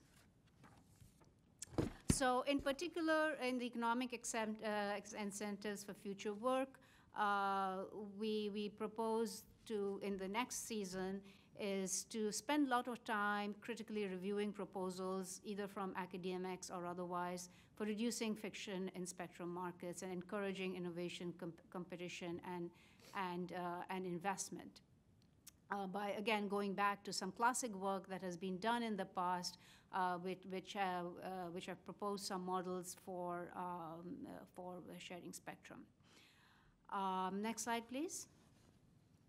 Uh, finally, just uh, um, concluding, we're almost at the end. Uh, just a list of the speakers. Uh, compared to some of the other working groups, uh, we've uh, we've not has had as many, but we've had some really good presentations, and that's the list of speakers that have presented on various topics, and from whom we've drawn some of the recommendations that we've come up with. Next slide, please. And next one. So finally, concluding with what we hope we can accomplish um, in the next cycle, um, we spent a lot of time uh, uh, in 2022 gathering information from subject matter experts uh, and having substantive discussions on many of the complex uh, topics of spectrum sharing. And uh, because these are, you know, th- there are many stakeholders and many viewpoints, we've not had enough time to reach consensus on some of the important topics. Uh, and we would like to develop additional work pr- uh, products like the white paper uh, on, the on the lessons learned from CBRS. Uh, there are some uh, older work that has been done in the TAC, for example, the receiver interference paper uh, that we would like to go revisit and come up with maybe you know recommendations based on that, and do more in-depth studies in in in in the new bands, and hopefully over the next year, we, NTIA may have had may have made some progress on their uh, national spectrum strategy, and we can uh, benefit from that input as well. So we just concluded recommending that the FCC consider extending uh, what we are doing into next year. Uh, We have, I think, maybe a minute or so for, for a question. um, Okay. Uh, Great job, Andy and Monisha, that was terrific. I- I had one point I wanted to just underscore in your presentation. You have it under, I think, in the lessons learned about CBRS, but it it could equally just be a freestanding point, which is you call for, uh, I think the phrase was a long-term spectrum plan. Um, You could you could, uh, you know, a synonym, you know, a synonym for that would be a list of priorities. When uh, Chairwoman Rosenworcel was Commissioner Rosenworcel, she was very outspoken in calling for a schedule of auctions or a calendar of auctions. Um, I think 2023 would be a great time for the commission to come up with, you know, again, call it a plan, call it a list of priorities, call it a, you know, some sort of uh, document. It could be done by the commission, the Great Commission staff.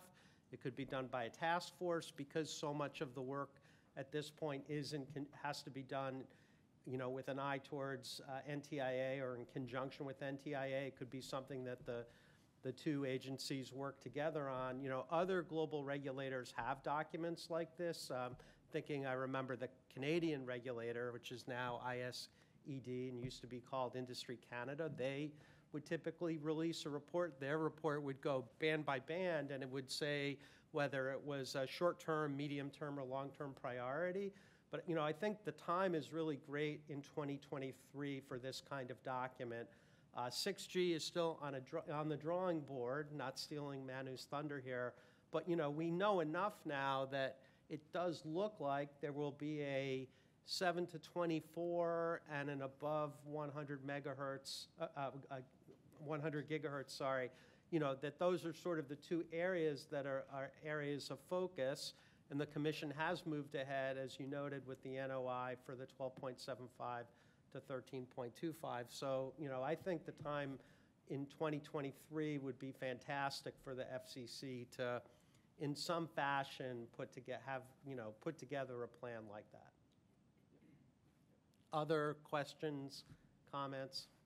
Michelle?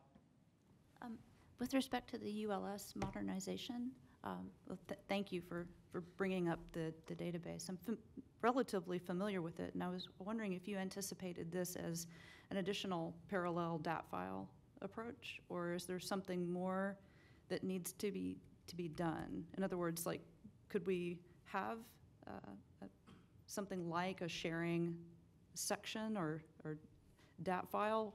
Uh, Would that do the trick?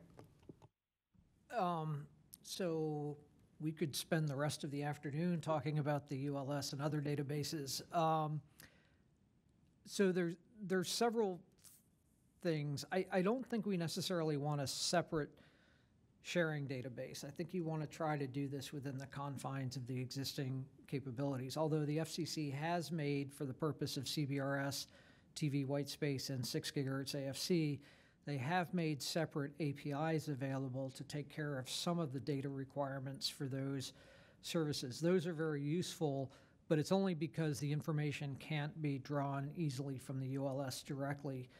Um, but there's a number of factors. One is, you know, the challenge that the data that are in the ULS, mostly not by the fault of the FCC, but the licensees aren't always putting in the correct data into the ULS. They're, they're putting in above ground level heights instead of above mean sea level or vice versa, you know, things like that, things that are nonsensical. Um, and then there's also the case that data elements are not, um, are, are not actually not collected that need to be. So in the case of six gigahertz AFC, you need to know the noise figure of the fixed service links in order to do an interference to noise calculation. But, you know, we don't have access to, to noise figure information in the ULS, and so that data element isn't even in there. So there are all these little tweaks, and, and the issue is when you ask the commission, can they add this data element or whatever, it, it, you know, first of all, the code behind the ULS is so old and, and nobody really wants to touch it, or if they do, it takes a long time to hire a contractor to do it. Um, and then collecting additional data elements, you've got to go through the whole um, uh, um, government um, paperwork issues in order to, to require additional information for licensees to put in. So the, it's just, you know, you it's it's not extensible right now. It is what it is, and it's all we have to deal with. Um, and we just think that there needs to be a, a a better way to collect data in the future that's a lot more flexible and a lot more adaptable to spectrum sharing and has the engineering data. But whether we need databases specifically just for shared bands, I don't know, but I don't think that helps the process much because creating a whole new database is, is as timely or as time consuming as just fixing what they've got. So I'm not sure if that answers your question, but there's, there's a, a number of issues that are at play here. Other comments or questions? Greg? Yeah, go ahead. Um, Andy, Andy mentioned this, uh, the, our, our white paper, which is entitled Recommendations to the Federal Communications, uh, the, the last section of it is not recommendations, but rather our vision for a future spectrum management system that uh, is what we would consider to be ideal. Uh, it, we looked at things that aren't perfect in CBRS and tried to perfect them. It's futuristic because not everything is possible today, but will be sometime in the near future. As uh, Adam alluded to earlier, uh, we, we could um, use AI to solve some of the problems that we can't solve today. But we're not ready to do that just yet. So we included that in the white paper as something to think about for the future. And I hope everybody uh, gets a chance to look at that. Yep, um, good point, and thanks for adding that, uh, Greg. And I should point out, the white paper is not very long, so, you know, it's easy to read. Uh, Probably can read it in half the time it took us to talk about it, so please take a read. Okay, thanks. Any other com, oh, someone on the, uh, Dick, hey, Dick Green. Uh, Mr. Chairman, I, I just wanted to support um, your suggestion of having a list of priorities.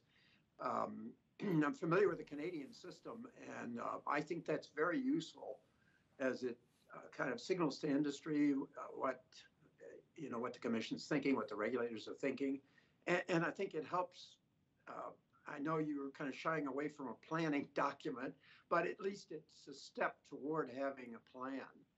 Uh, or- at least, um, you know, a concept, a framework at least. Thank you.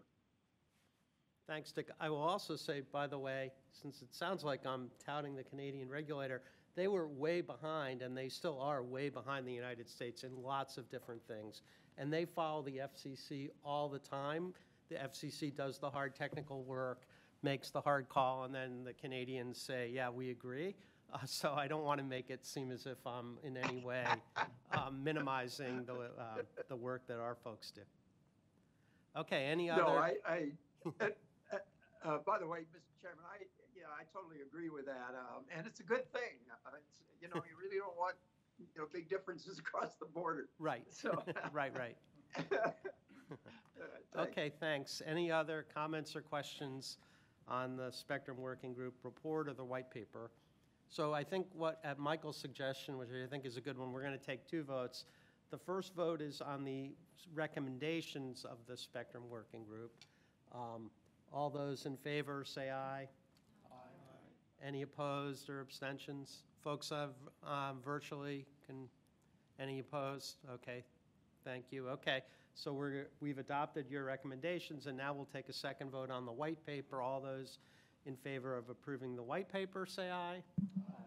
Any opposed or abstentions?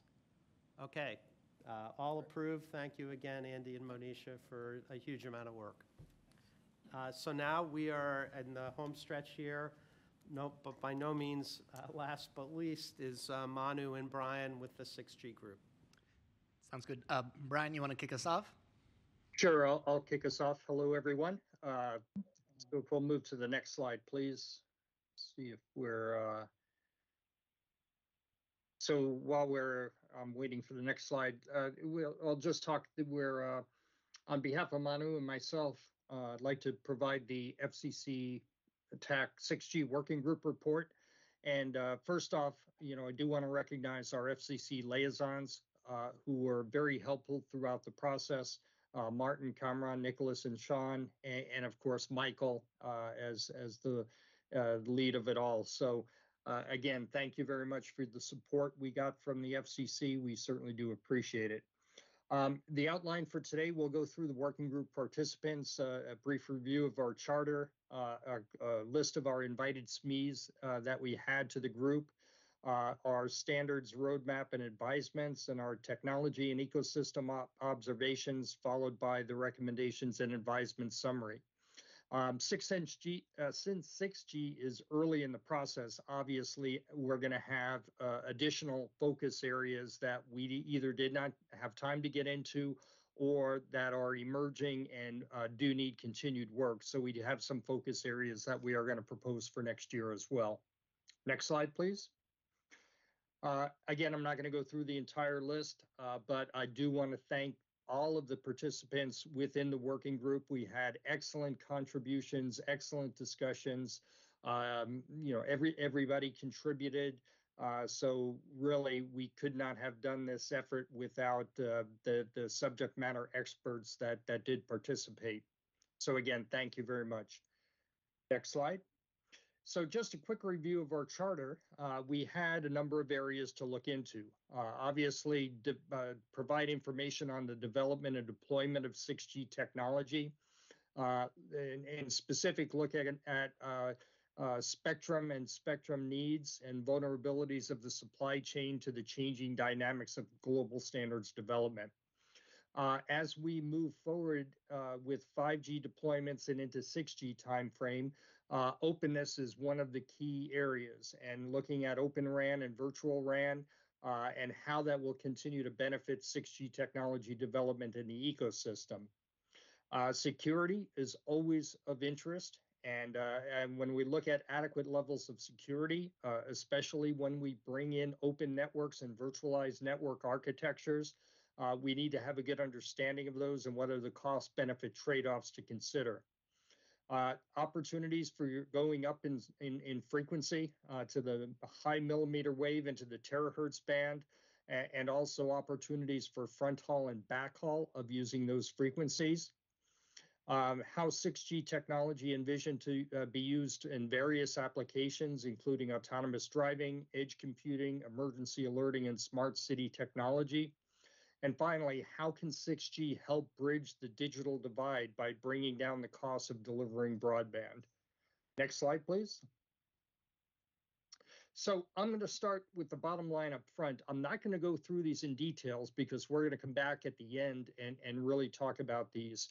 Um, but some of the key points on the 6G development timeline uh, it, it, it's really important to understand that 5G deployments uh, really have just started. We're right in the middle of 5G deployments. We have a long way to go uh, with 5G deployment, and those potential impacts still need to be realized. And within standards, we haven't even started standards discussions on 6G yet. Uh, we're looking at 5G uh, advanced evolution uh, in the current and future 3GPP releases. Uh, there's a lot of fundamental research underway uh, tied to 6G, uh, and, and, we have federal and industry investments in that. But the ITU process is, is still off, and we'll have some slides on that. Um, we're going to have some advisements on ORAN and Open RAN security, uh, millimeter wave and sub-terahertz, uh, the spectrum needs, and 6G use cases and application verticals. And again, this uh, pretty well captures the areas that we uh, have within our charter. Uh, although we're not going to be able to provide a full story because we're still early in the in the uh, evolution cycle for some of these technologies. Next slide, please. And again, I won't go through all these advisements at this point, uh, but we will have some advisements that's uh, that center around some of the areas that we investigated through uh, through the work this year uh, including things like the ITU-R performance analysis, which I'll touch on in a bit. Uh, and, and as I mentioned, we are in our 5G, 5G advanced journey, and 3GPP is continuing to take shape with those future releases and study items. Uh, next, let's move to the next slide, please. So let me go through very briefly who our subject matter expert presenters were. Um, we we had uh, topics uh, from AT&T presenting on the ITU process for IMT uh, to give us an understanding on what the ITU is doing and how that ITU process works in defining the next IMT towards 2030. Uh, we had a 6G roadmap overview uh, from the NextG Alliance, and it looks like this slide actually got uh, formatted a, a bit off. but the, you know, the 6G roadmap view, looking at what the Next G Alliance is doing to advance North American mobile technology leadership over the next decade, and uh, focusing on AI native distributed cloud and communications to meet uh, meet those needs. Um, we looked at wireless networks operating in the terahertz band, uh, looking again, moving up in frequency and understanding joint communications and sensing using extremely large bandwidths. Next slide, please. Uh, we heard from the uh, German uh, 6G research inif- initiatives and the 6G platform, looking at their shared vision of a 6G program and development of research hubs with uh, various research uni- uh, er, groups at universities and research institutes. Uh, a 6G system for ubiquitous computing, silicon technologies for 6G sub terahertz, and the ITU-R future technology, uh, Mark Grant from AT&T gave us an update on some of the work that was uh, going on there. Next slide, please. Uh, we also heard on uh, the, the uh, beyond 5G network customization for DoD, uh, including enterprise and R&D enablers. Uh, we heard what the shared DoD perspective is on 5G Future G program to foster U.S. leadership in investing beyond 5G.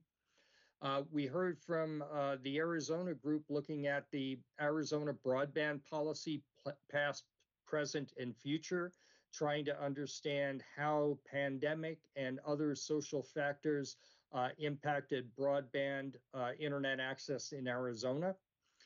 And um, Going to the next slide, please.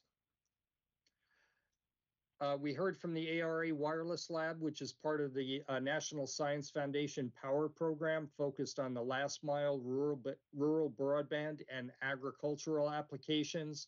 Uh, we uh, heard from the Rural Wireless Association to get an understanding of the challenges to rural carriers uh, who are still struggling to operate 4G networks and have uh, a challenge with spectrum access. And finally, the future uh, IEEE future networks, uh, looking at the vision and the path to 6G from an IEEE standpoint.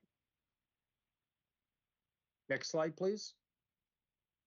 Uh, we heard from Intelsat looking at 7 gig to 24 gig usage and the future of the sat from the satellite industry perspective uh, looking at satellite use models that are expanding, uh, including GEO, MEO, and LEO, all being applied to more uh, to existing and to uh, new use cases. And we heard uh, uh, Spectrum Solutions on greater than 100 gigahertz spectrum policy overview and impact. including some of the regulatory issues in the FCC in the US versus the ITU and sharing of passive bands, uh, looking at high payoff but difficult challenges. Next slide, please. So the next area we focused on was looking at 5G and 5G Advanced and the 6G Standards Consortia roadmap. So traditionally, uh, a new generation of wireless technology, uh, specifically mobile wireless technology, uh, starts with the process in the ITU where they define what's known as the International Mobile Telecommunications Process. In, in this case, it's the IMT towards 2030 and beyond. Uh, the ITU has released uh, an initial report uh, on future new technology trends, and, and that came out uh, mid mid mid year of this year. Um, they are also working on a recommendation on a new IMT vision of IMT tw- uh, towards 2030 and beyond, which is due sometime middle of next year. And that'll be followed by the technical performance requirements for IMT 2030, uh, which will begin sometime uh, early 2024 and complete early 2026. Now, those technical performance requirements, which focus on, on the radio, aspects, but do have system-wide aspects. Those are what typically uh, we, we would find going into 3GPP to define the next generation of mobile wireless technology. Uh, and those uh, standards and specifications are developed by 3GPP and then fed back into the ITU to go through their evaluation process to see if those technologies actually meet um, the uh, technical performance requirements that are that are developed by the ITU. Uh, the other milestone to note here uh, next year is the World Radio Conference 23, uh, which is in the latter half of next year, and uh, that's the other circle on this chart. So these are all the moving parts that are looking at IMT towards 2030. Uh, the World Radio Conference is spectrum focused and and will uh, be defining some of the new spectrum bands that will be used for 6G and the technical performance requirements that ultimately will come out of the ITU will define the system performance requirements. Next slide, please. Um, as I mentioned, uh, 3GPP right now is in the middle of uh, developing 5G and, and actually 5G advanced. Uh, release 17 was completed earlier this year, and we're in the middle of uh, working on release 18 right now. Uh, release 18 is the first release of what's known as 5G Advanced. Uh, it's a major evolution of the 5G system, uh, and and thus has been uh, uh, given the branding as 5G Advanced within 3GPP. Uh, this will include major enhancements in the areas of artificial intelligence, extended reality, and it'll enable highly intelligent network solutions that can support a wider, wider variety of use cases. Now, work has already started on release 19, uh, looking at some of the early studies, looking at advanced services such as integrating sensing and communications, uh, localized mobile metaverse services, service robots, and ambient powered IoT. Now, even though the standards are, you know, out out uh, look looking out ahead in release 18 and 19, it's important to note that today's deployments uh, are, are generally based on release 15 and 16. And deployments are typically about 24 months after a 3GPP release completes. Next slide, please. Uh, just a sampling of topics in release 18. I'm not going to go through these since we did present them before. Uh, but again, release 18 being the first uh, 5G advanced has a number of different capabilities, bringing in more intelligence, uh, support for AI ML based uh, services, uh, non terrestrial networks, and, and more uh, advancements in edge and slicing. Next slide, please. And release 19, uh, again, has a number of study topics, again, looking at uh, various advanced services uh, including sense, uh, integrated sensing and communications, as well as network sharing aspects, satellites, uh, service robots, and uh, others that are that are mentioned on here. And I won't go through them in detail because we did cover those in the previous uh, presentation. Next slide. Uh, the O-RAN Alliance, uh, which is developing o opens uh, the open architecture for the radio access network, uh, has released 52 specifications since March of this year, and they are looking at the sixth release of open software uh, for the RAN uh, delivered by the Open, so open RAN software community. Um, they are awarding certificates in their certification and badging program. And they've also created a new working group specifically focused on security, where security experts from the ORAN ecosystem uh, have been looking at, you know, doing a threat analysis on the different components of the ORAN architecture, and also um, the FCC CSRIC and and the NSA are looking at uh, vulnerability and, and, and providing reports on Open RAN uh, security vulnerability. Um, the ORAN testing and integration has had global plugfest uh, and demonstrated proof of concepts and the Open RAN front haul control user and synchronization plane specification uh, was submitted uh, for adoption by ETSI as an ETSI specification through their ETSI PAS uh, process. And they also have formed a next generation research group or NGRG uh, to address technology gaps and architectural enhancements for the next generation. Next slide, please.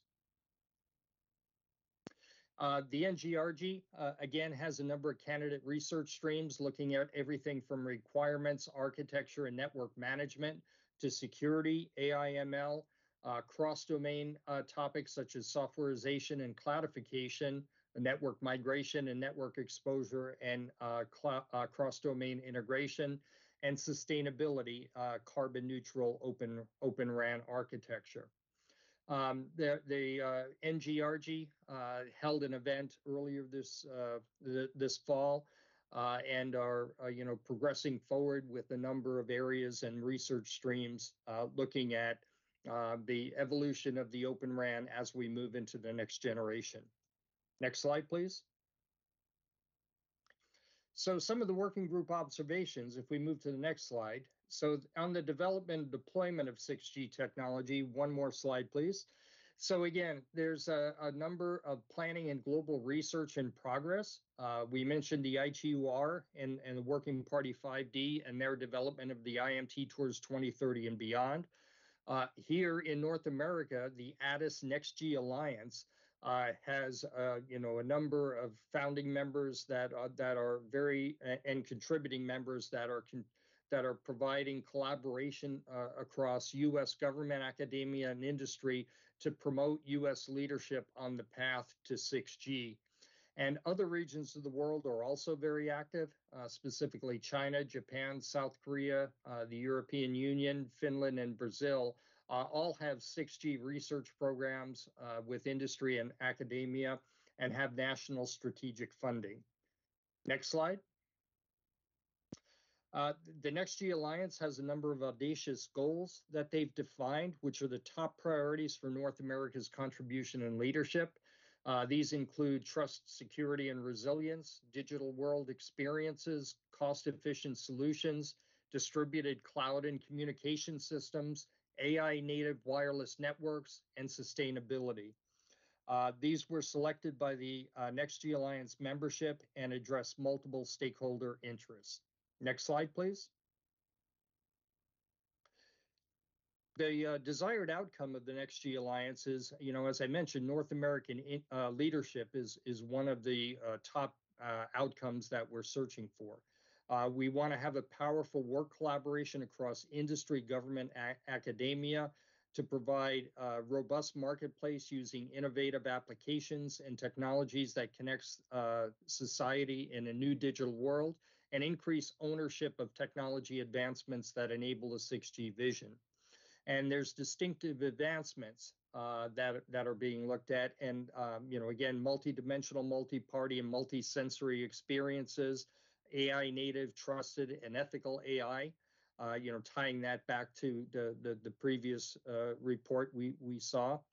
Um, looking at higher frequencies and multi-use spectrum designed for sustainability, reduced energy, and zero energy devices, and transform quality of life and work across healthcare, public safety, and education. Next slide, please. In, this, in the US, there's a lot of uh, research underway outside of the NextG Alliance, including the National Science Foundation, uh, who has a number of programs, DARPA, uh, the JUMP 2.0 uh, exploratory research uh, that's being undertaken, new National Science Foundation directives to look at technology innovations and partnerships with their PAWR platforms. the US DoD has Future G uh, programs to modernize service capabilities and adoption of 5G and 6G, and the International 6G R&D uh, and Innovation Consortium, or the IDIC. So, you know, again, uh, a lot of research is underway. Uh, even though the ITU process is early, uh, a lot of this research will factor into the ITU and ultimately uh, drive some of the performance uh, requirements that will come out of the ITU. Next slide. Uh, the CHIPS and Science Act, which was signed in August of, of this year, does include funding for increasing domestic semiconductor capacity. And, and in the recent days, we've we've seen some of that um, out out in Arizona, where some some new semiconductor facilities are being built, uh, as well as a 1.5 billion uh, grant for promoting and deploying wireless technologies that use open and interoperable radio access networks. Um, there is going to be a, a, a, directorate under the National Science Foundation uh, that will look at um, uh, a number of topics, including advanced communications technology. And the NTIA is tasked with developing the Open RAN grant program. Uh, what's important is the needs of the telecom industry should be addressed as this funding is allocated. Next slide, please. And in semiconductor research, uh, there are innovative platforms to create new technology, mature the technology, and manufacture it to strengthen the US economy, strengthen national security, and improve society. New key, uh, key new programs are in the pipeline, uh, including the National Semiconductor Technology Centers and the National Advanced Packaging Manufacturing Program. And of course, the telecom industry has interest in this to engage with these programs to ensure that innovations in technology and manufacturing are benefiting the technology industry. Next slide. So with this, I'll turn it over to Manu, who will bring us through some of the Open RAN aspects. Manu? Thanks, Brian. Uh, so g- good afternoon, everyone. So I'll switch over to the, the charter topic around Open RAN. So we heard from Brian about uh, what's happened during the year or the course of the year, including government action as well as uh, more international consortia and alliances forming around Open RAN. Uh, the key advisements that we have for the FCC is around tracking multi-vendor interoperability, which is again uh, really focusing on the multi-vendor testing and producing performance benchmarks. So right now we haven't seen any large-scale deployments from any large-scale uh, mobile network operators of an end-to-end um, ORAN um, architecture or the functional splits that have been defined, but there are a few different government efforts, specifically the NTI 5G challenge, which is incentivizing vendor diversity uh, and testing standards compliance. So as the journey towards 6G uh, is there, will Open RAN become a foundational aspect uh, of uh, the network architecture for 6G? Still is an open question, but again, an advisement is uh, to really keep an eye on the testing, the performance parity, as well as the scale. Uh, we need to continue to monitor and, and feed information from uh, parallel efforts happening, as we heard from the CSRIC working group, which I believe the, the work products will be released next week, as well as the NSA Enhanced Security Framework working group that is looking clearly from a security resiliency as well as privacy perspective. Next slide, please. Um, so uh, uh, continuing on the policy advisements, we're seeing obviously a, a lot of uh, investment from government, including the CHIPS Act and the $1.5 billion wireless innovation fund that's going to drive uh, market uh, competition as well as increase the number of new entrants. Uh, we're going to see, or we obviously, from an advisement perspective, want to see continued R&D investment, see increased involvement of U.S. federal agencies, academia, as well as industry. So from a procurement perspective, are there any uh, incentives. Again, we heard about the Coase theorem. Are there any incentives that can be created uh, for deployment uh, of Open RAN uh, systems? And then how do we actually remove some of the inertia to achieve scale uh, and performance parity, as well as the total cost of uh, ownership of an ORAN architecture? Next slide, please. So switch quickly over to millimeter wave and terahertz. Again, uh, a really, really blue sky area, overlaps very nicely with the emerging tech working group. But uh, key things to realize here are a huge opportunity with respect to providing uh, terabit uh, wireless backhaul. The idea is uh, that there are opportunities within the inter and inter-satellite space networks, the ability to realize indoor wireless personal area networks for motivated 6G use case applications. Obviously, on the right side, uh, we see the opportunity comes with a huge technical challenge of high path loss, but also an opportunity of transmission bandwidth, as well as the ability to sense and communicate on the same channel. So we heard from a large number of, uh, a, a, few actually, not as many as we'd like, because this area itself is developing uh, within the communication side. There is a lot more device work that's happened on the uh, passive uh, community, so we are actually trying to understand how does the communications uh, uh, system or how does our community actually realize some of those innovations, primarily in the ultra-directional antenna systems, analog and digital front ends, as well as you know digital back ends. And obviously, the key question is also around sharing capabilities, since there are a large number of passive services that operate in that band. So, from a recommendation perspective, there are some technology recommendations on continuing to um, monitor the advances in uh, uh, reflective intelligence surfaces, which is a new kind of a, a passive um, passive and active uh, intelligence surface uh, concept using meta surfaces and arrays, as well as super directional dynamic beamforming, which then actually uh, has somewhat of an impact on some of the sharing capabilities given the, the, the, the pencil beams and the high directionality of these systems. And then we obviously need to study an impact, again, to echo what we heard from the Spectrum Sharing Working Group, uh, to have a baseline of information on how the incumbent passive services are utilizing the spectrum, so we can talk about spectrum sharing in this band. Next slide. Uh, so we'll switch to spectrum needs, and here I uh, want to acknowledge uh, Roger Nichols from the, the working group for leading a subgroup, and most of these recommendations were coalesced as part of the subgroup activities that happened under the auspices of our working group. So primarily, this group uh, looked at uh, uh, key questions around what are we going to look for when we look at spectrum needs for 6G? Are we looking at additional spectrum bands? Are we looking at spectrum sharing of existing bands? What are the key use case drivers that are going to be driving uh, 6G? And basically, uh, that was the basis of uh, some of the questions that were addressed as part of this working group. Um, in, in addition to that, there were some of the practical considerations, given that the advisements have to be technical in nature, uh, looking primarily uh, at use case considerations, geographic considerations, uh, deployment of public and private networks that we're beginning to see emerge in, in the 5G ecosystem and how that's going to translate into the requirements and needs for spectrum as we evolve towards 6G. Next slide, please. So a little bit more detail here about the main, uh, the, the key four topic areas that were, uh, that were studied and some key advisements on there. Uh, next slide, please. I'll go into each of those in, in very brief detail.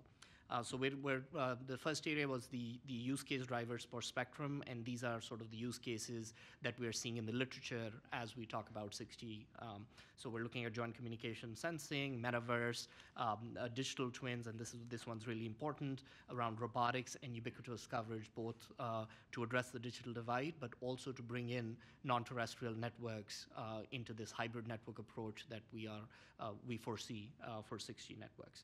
So dividing that up into how these applications uh, can be addressed uh, utilizing the existing spectrum or going up into the um, sub-terahertz and uh, high millimeter wave uh, spectrum, as well as looking at the new spectrum uh, between 7 and 24 gigahertz, and how.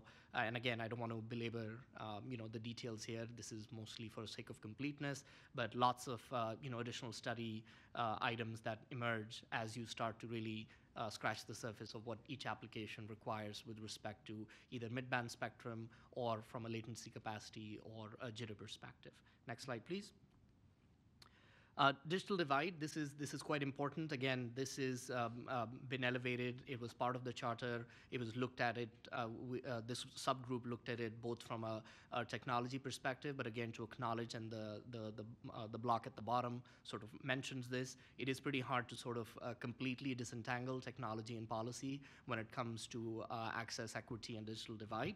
But um, in, in, in keeping with the spirit of the technical considerations only, the idea here is to try to define some technical metrics, uh, specifically around target device costs, access costs, in uh, case of providing ubiquitous coverage um, to sort of fulfill the promise of 6G. Uh, also, sort of looking at uh, trying to define or updating the definition of broadband access, especially in the context of education. Uh, and COVID was obviously a key uh, kind of um, you know, uh, it, it, forced um, us to look at broadband access and, and equity. And, and the idea is we don't need to wait for another pandemic to really uh, try to, um, you know, focus on uh, what the metrics should be and how we need to really advance them. Uh, next slide, please. So uh, this was uh, this is again a strong overlap with the with the spectrum sharing working group, and again as uh, Dean said in his remarks, the, the notion of looking at 7 to 24 gigahertz. And here we're also going to be looking uh, and carefully monitoring what comes out of the WRC uh, work that happens in 2023. But the idea is also to consider uh, will some of these new spectrum bands uh, be considered to be sharing native uh, to begin with. So um, that's that's continued work that um, you know we we advise that we continue to focus on, look at specifically from 6G from a capacity perspective. Obviously, trying to understand within 7 to 24 if there is opportunity for a large swath of contiguous spectrum that can be available for satisfying the applications. Next slide. Uh, looking at the terahertz space, so here again, the technology uh, continues to mature and, and the promise uh, of uh, having terabit per second links is going to be very, very, uh, has, has huge potential uh, also from high-speed communications and you get to combine both positioning, imaging, and spectroscopy. new materials are coming out every single day um, you know, Microelectronic Commons, which is part of the CHIPS Act, is going to really push the needle as new and new materials uh, are investigated. So we heard from subject matter experts uh, across the board around, uh, you know, photonics as well as uh, new materials um, on GaN or indium phosphide, and how are you actually going to build, um, you know, phased arrays and systems uh, at these at these high uh, frequencies. And again, we also want to ensure that experimental research is very uh, is encouraged uh, for this spectrum, especially as academia is uh, very heavily involved in designing uh, some of the work. So advisements around coordination with NTIA for extending some of the experiment license durations as well. Next slide, please. So uh, continue, uh, continuing to look at 2023, some topics that uh, would be, uh, we would want to look at uh, much more carefully within this subgroup would be the impact of non-terrestrial networks uh, on, on spectrum and um, as well as some of the spectrum allocation, so exploring flexible approaches as mentioned earlier, and also looking at um, EMF exposure specification and measurements, primarily not um, defining or um, revisiting some of the exposure limits that have been defined. Um, also want to continue work on uh, digital divide as well as the energy efficiency. This is becoming important as uh, the energy consumption focus uh, moves away somewhat from the radio element, but still moves into the compute element as edge networks start to become very power hungry with uh, hardware accelerated uh, large performance compute clusters being uh, deployed at the edge or almost co-located with radio access sites. Next slide, please. Uh, so this is looking at the 6G services and application verticals. Here again, uh, Amit Mukhopadhyay from uh, the working group uh, was instrumental in leading a sub, uh, sub-working group, so acknowledge his contributions. Um, on the use cases, again, uh, similar to what, I, what I showed on the spectrum needs side when this analysis was done, um, here, the key takeaways are all the way to the right, where some of the uh, KPI perspectives uh, beyond just looking at multi-gigabits per second, so number of streams, latency, jitter, the typical key performance indicators that are in there. And um, you know, if, if, somebody were to push back on that, uh, people can say that some of these uh, communications or use cases are being done either over Wi-Fi or with 5G. But uh, the key takeaway here is we're talking about pushing the envelope with a large number or multi-gigabit per second per stream with very, very low latency and, and obviously the enemy of wireless networks, which is jitter. How are you going to balance that so that you can provide a seamless experience across uh, most of these use cases? Next slide, please. Uh, in addition to the KPIs, which are which are going to be defined in the standards body, uh, the other thing or a shift in paradigm that we're seeing is about the definition of KVIs or key value indicators, and this is looking at it um, um, or definition of 6G from a sustainability and a digital inclusion perspective uh, with respect to energy consumption, uh, mapping your carbon footprint, trustworthiness, uh, resiliency, privacy, uh, maintaining the privacy of the consumer, uh, resiliencies of the network, uh, security of the data as you talk about disaggregating the data or uh, bringing in um, uh, cloud components, cloud technologies, being able to build bespoke and custom networks. How are you going to uh, promise and deliver on, on the security and, and, and these new KVIs? next slide, please. Uh, so this more from a North American perspective, the Next-G Alliance applications use cases, again, looking more from a societal, uh, sustainable uh, perspective as networks become, um, uh, you know, very critical to the functioning of society and economy. How are you going to improve the networks and the different use cases that are going to then um, provide benefit to, to all sections of the society and the economy? Next slide, please. At this point, I'm going to give it back to Brian uh, to talk about the digital divide topic. Brian? Okay, th thank, thanks, Manu. So if we move to the next slide, please. So um, as we look at the digital divide and what 6G might have to offer, uh, one thing to note is that, you know, the pandemic has really changed uh, the the way we do business, right? Uh, just just today we see here that we've got a, a, hybrid approach to this meeting alone. So social and physical distancing is is becoming the new normal, uh, which is requiring unprecedented demand for digital access. And, and what that demand means is that we need to look for new ways to provide affordable internet access and other digital inclusion and digital equity resources. Um, what we learned from Arizona is that students, parents, teachers, seniors, library patrons, and the general public, uh, there, there seems to be a lack of affordable and equi- equitable access to the internet. And as a result of that, um, there's a, a homework gap, which is becoming a major issue for our students.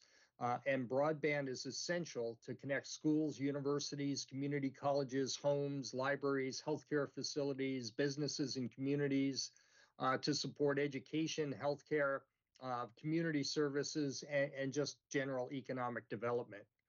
Uh, and in many places, the rural and remote areas lack the proper connectivity, uh, which has led to an increasing digital divide.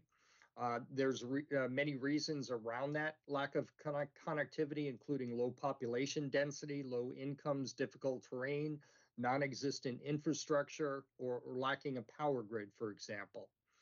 Um, 6G could be the first mobile radio generation that truly aims to close the digital divide. However, in, order to get there, special requirements and challenges must be considered from the beginning of the design process. Next slide, please. Uh, digital equity means that all individuals and communities have access to reliable broadband connection, uh, thereby playing an important role in achieving uh, the sustainable development goals.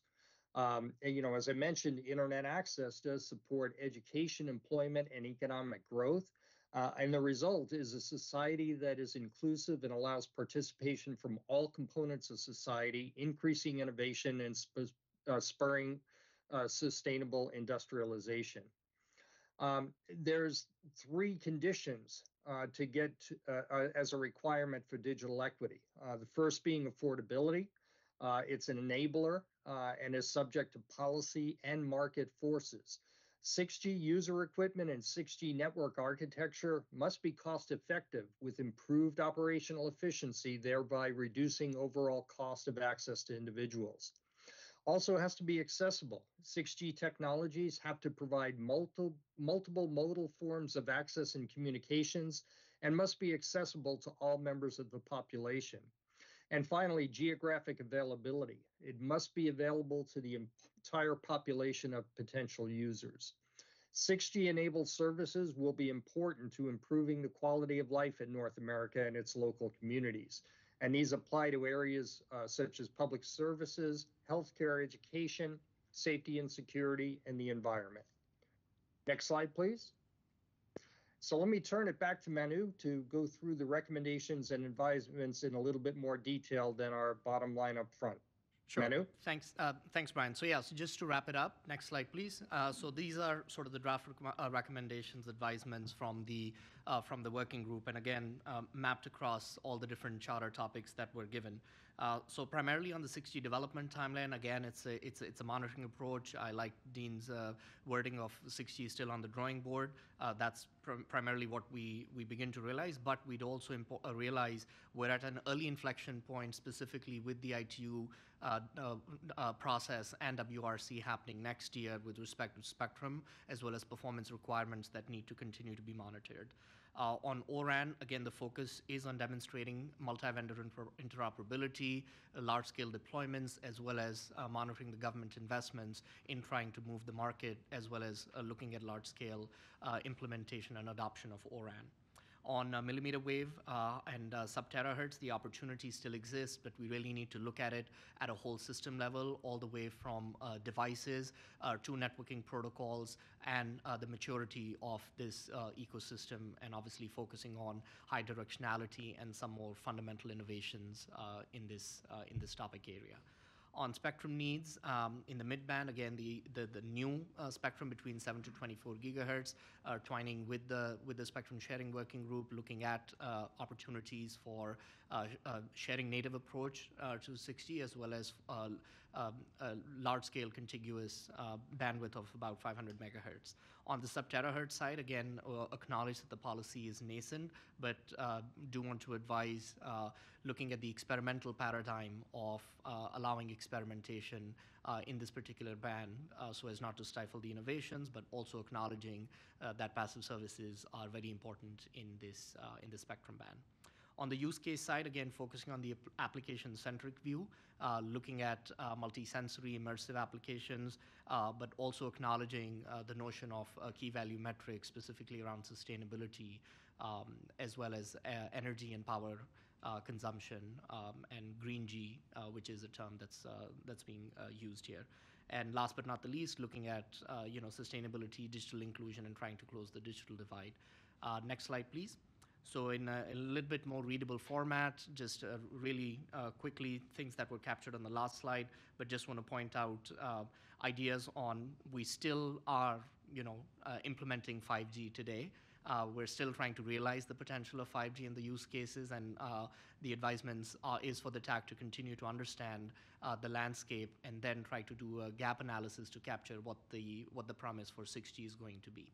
Um, the performance requirements and WRC is going to be very, very important as it culminates uh, at the end of next year. So continue to monitor these forums. Uh, we also realize there is a lot of uh, different 6G roadmaps internationally. We've done our best to get a global perspective and view, but now um, as those um, as those white papers and those approaches begin to mature, how do we sort of uh, uh, coalesce uh, and consolidate some of those roadmaps so that we can provide that feedback back to the broader TAC.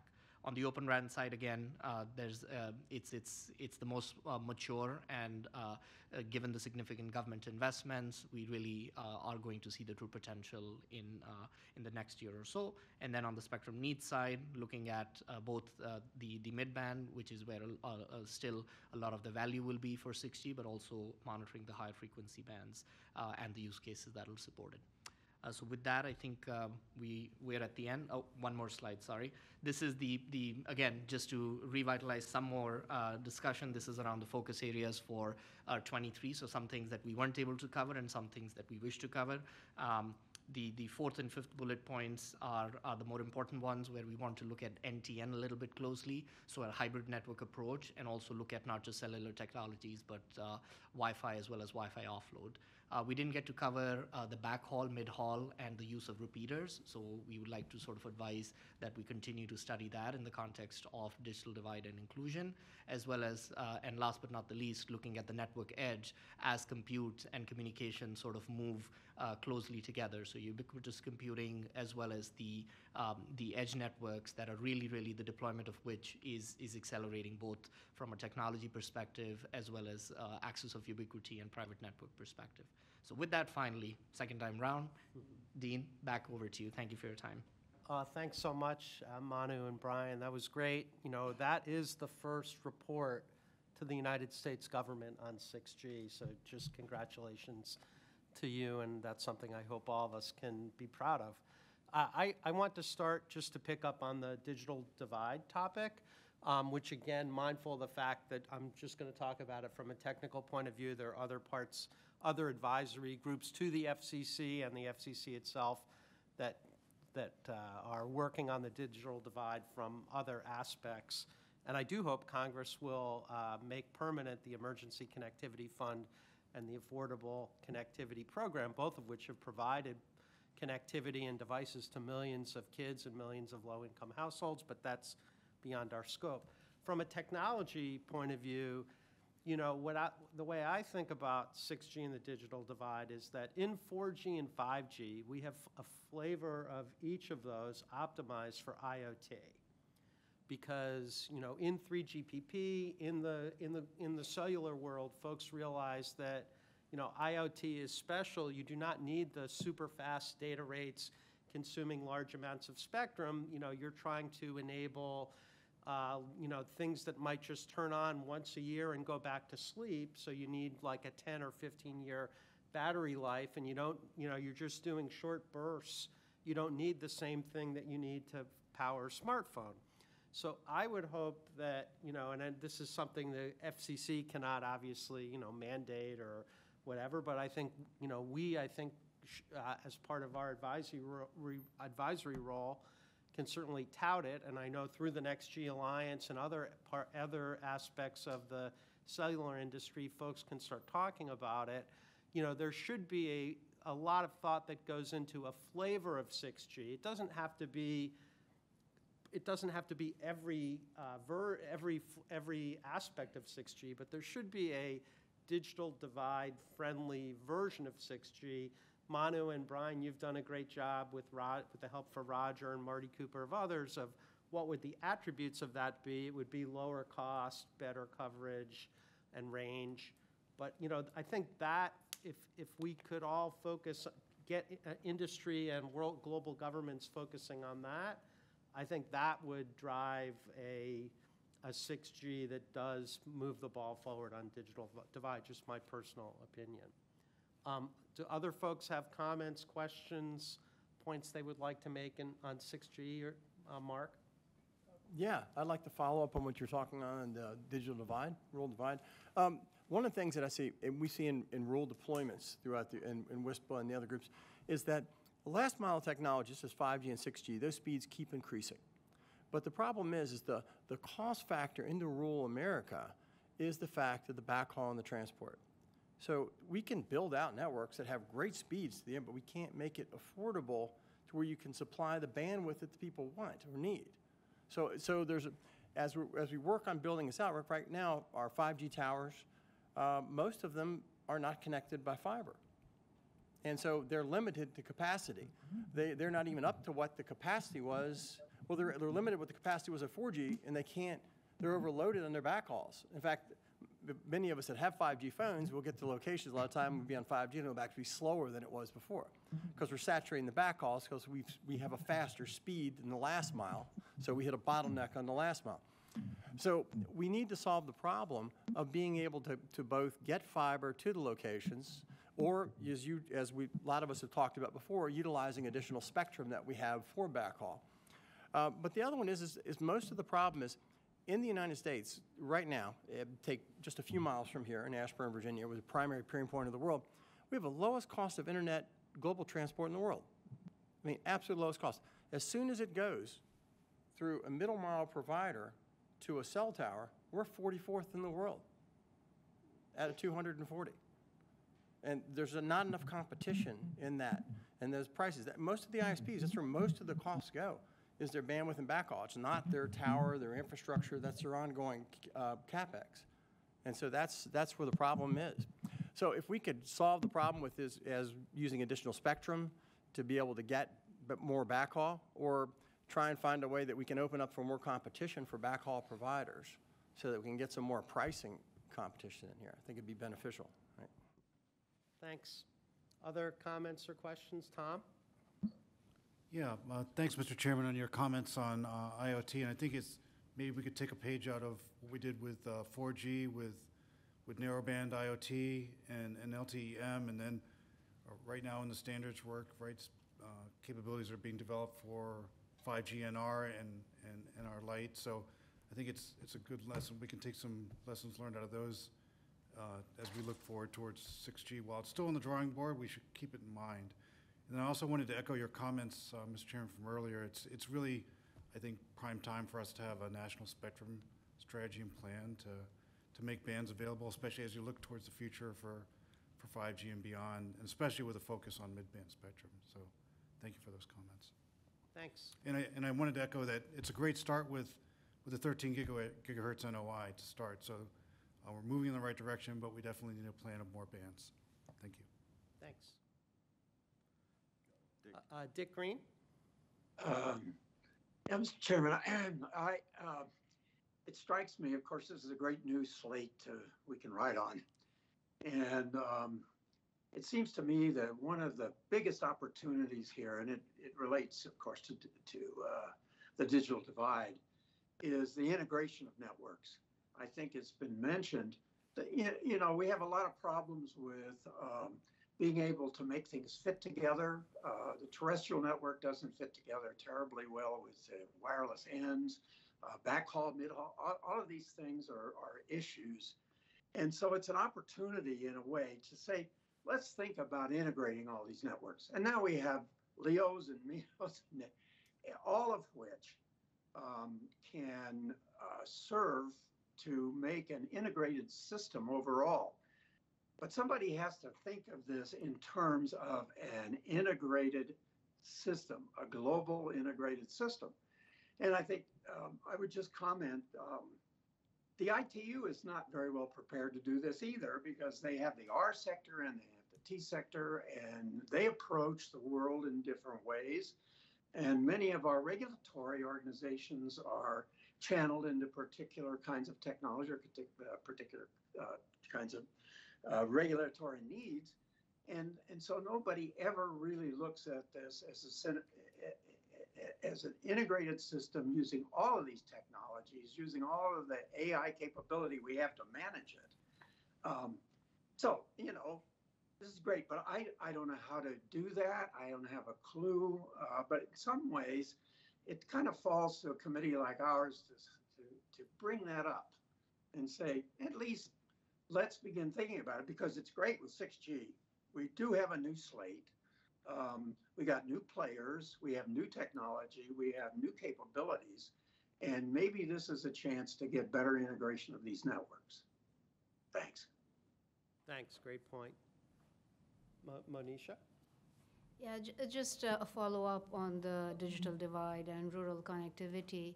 Um, I think uh, much as we should keep the focus on connecting people, um, there is a huge gap on, say, agricultural farmlands, on connectivity, that honestly, it doesn't make sense to put up cell towers to cover thousands of acres of land where there are no people, right? But on the other hand, we have to start thinking about what are the alternative ways that these places can get connectivity because so much of the work that's going on in precision ag cannot actually be implemented if you don't have connectivity.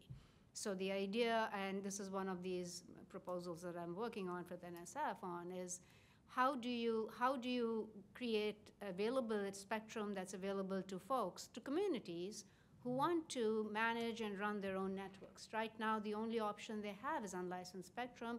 CBRS is coming into the play, but there needs to be uh, I think, spectrum strategies and system strategies that encourage more of this kind of uh, behavior, where you have community deployed networks in some kind of licensed space uh, to, to uh, focus on needs that they have in their communities.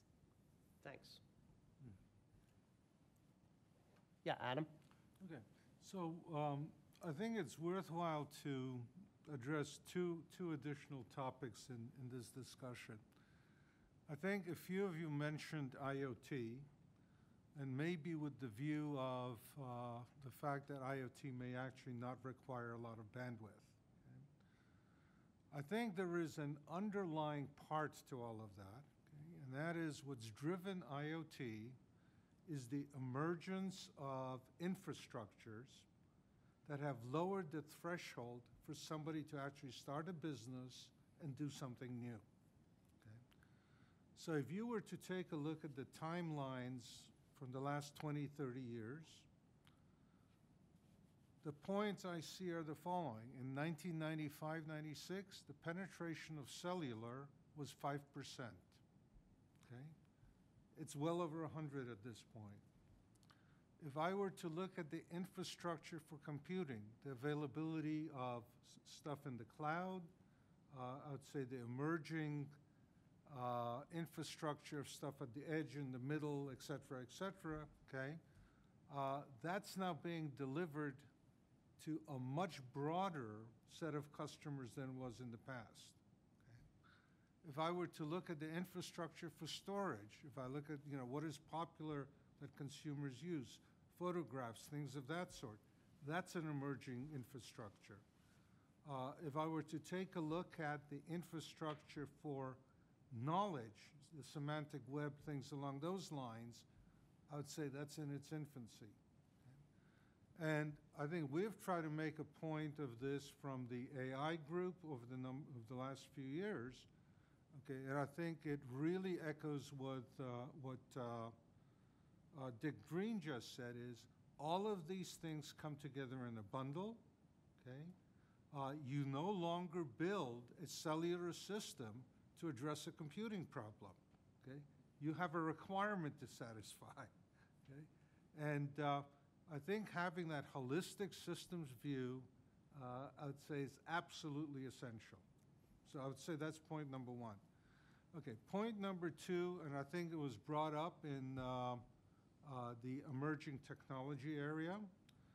Okay, I have seen nothing lower cost of delivering bits to a place, it's not symmetric, okay, than actually broadcasting. And if you were to do uh, code division, multiplexing, things of that sort, okay, uh, you could cover the land area of the U.S. much, much, at a much lower cost than with a cellular system. okay? Uh, You would have the reach, you would have the throughput, okay? I think with the amount of, uh, what I'd call actually white spaces revisited, you could probably provide better bandwidth to somebody in a rural area than in an urban area, okay?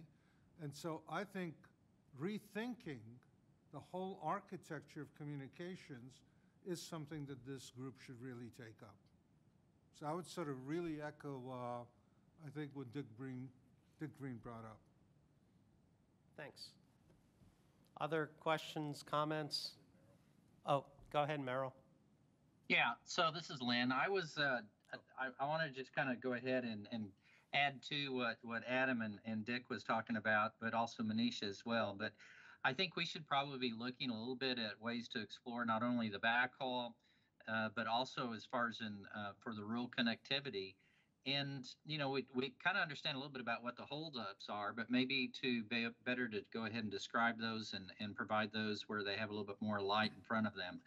But the thing is, is um, like Adam was talking about, you know, you're looking at at broadcast. You could also be talking about, you know, what what you can use wirelessly or from the wireless wired network, or when I mean wired, I'm thinking about from fiber as well as satellite. Um, you know, there's a lot of funding that's going to be coming out here very shortly, and some of it is already out here with uh, RUS under the Reconnect and NTIA under their program, the BEAD program.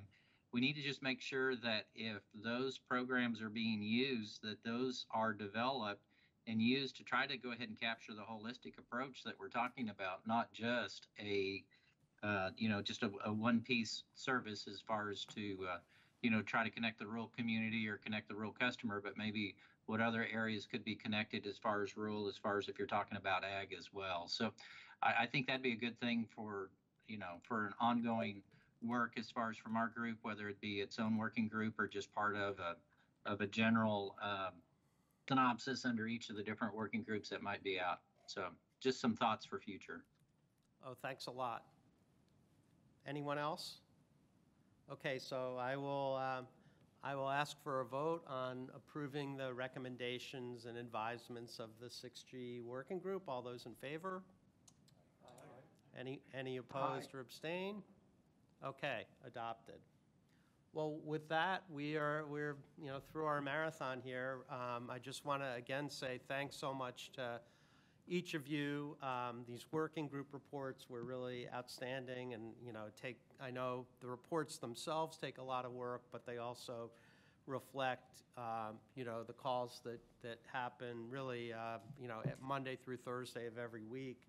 So thanks for all that again. Thanks again to Michael and Martin and Ron and everyone from the FCC staff. I hope that our ultimate work product here is, um, is useful and something that uh, um, will show value um, to all of you. So with that, I will just say thank you and we're adjourned.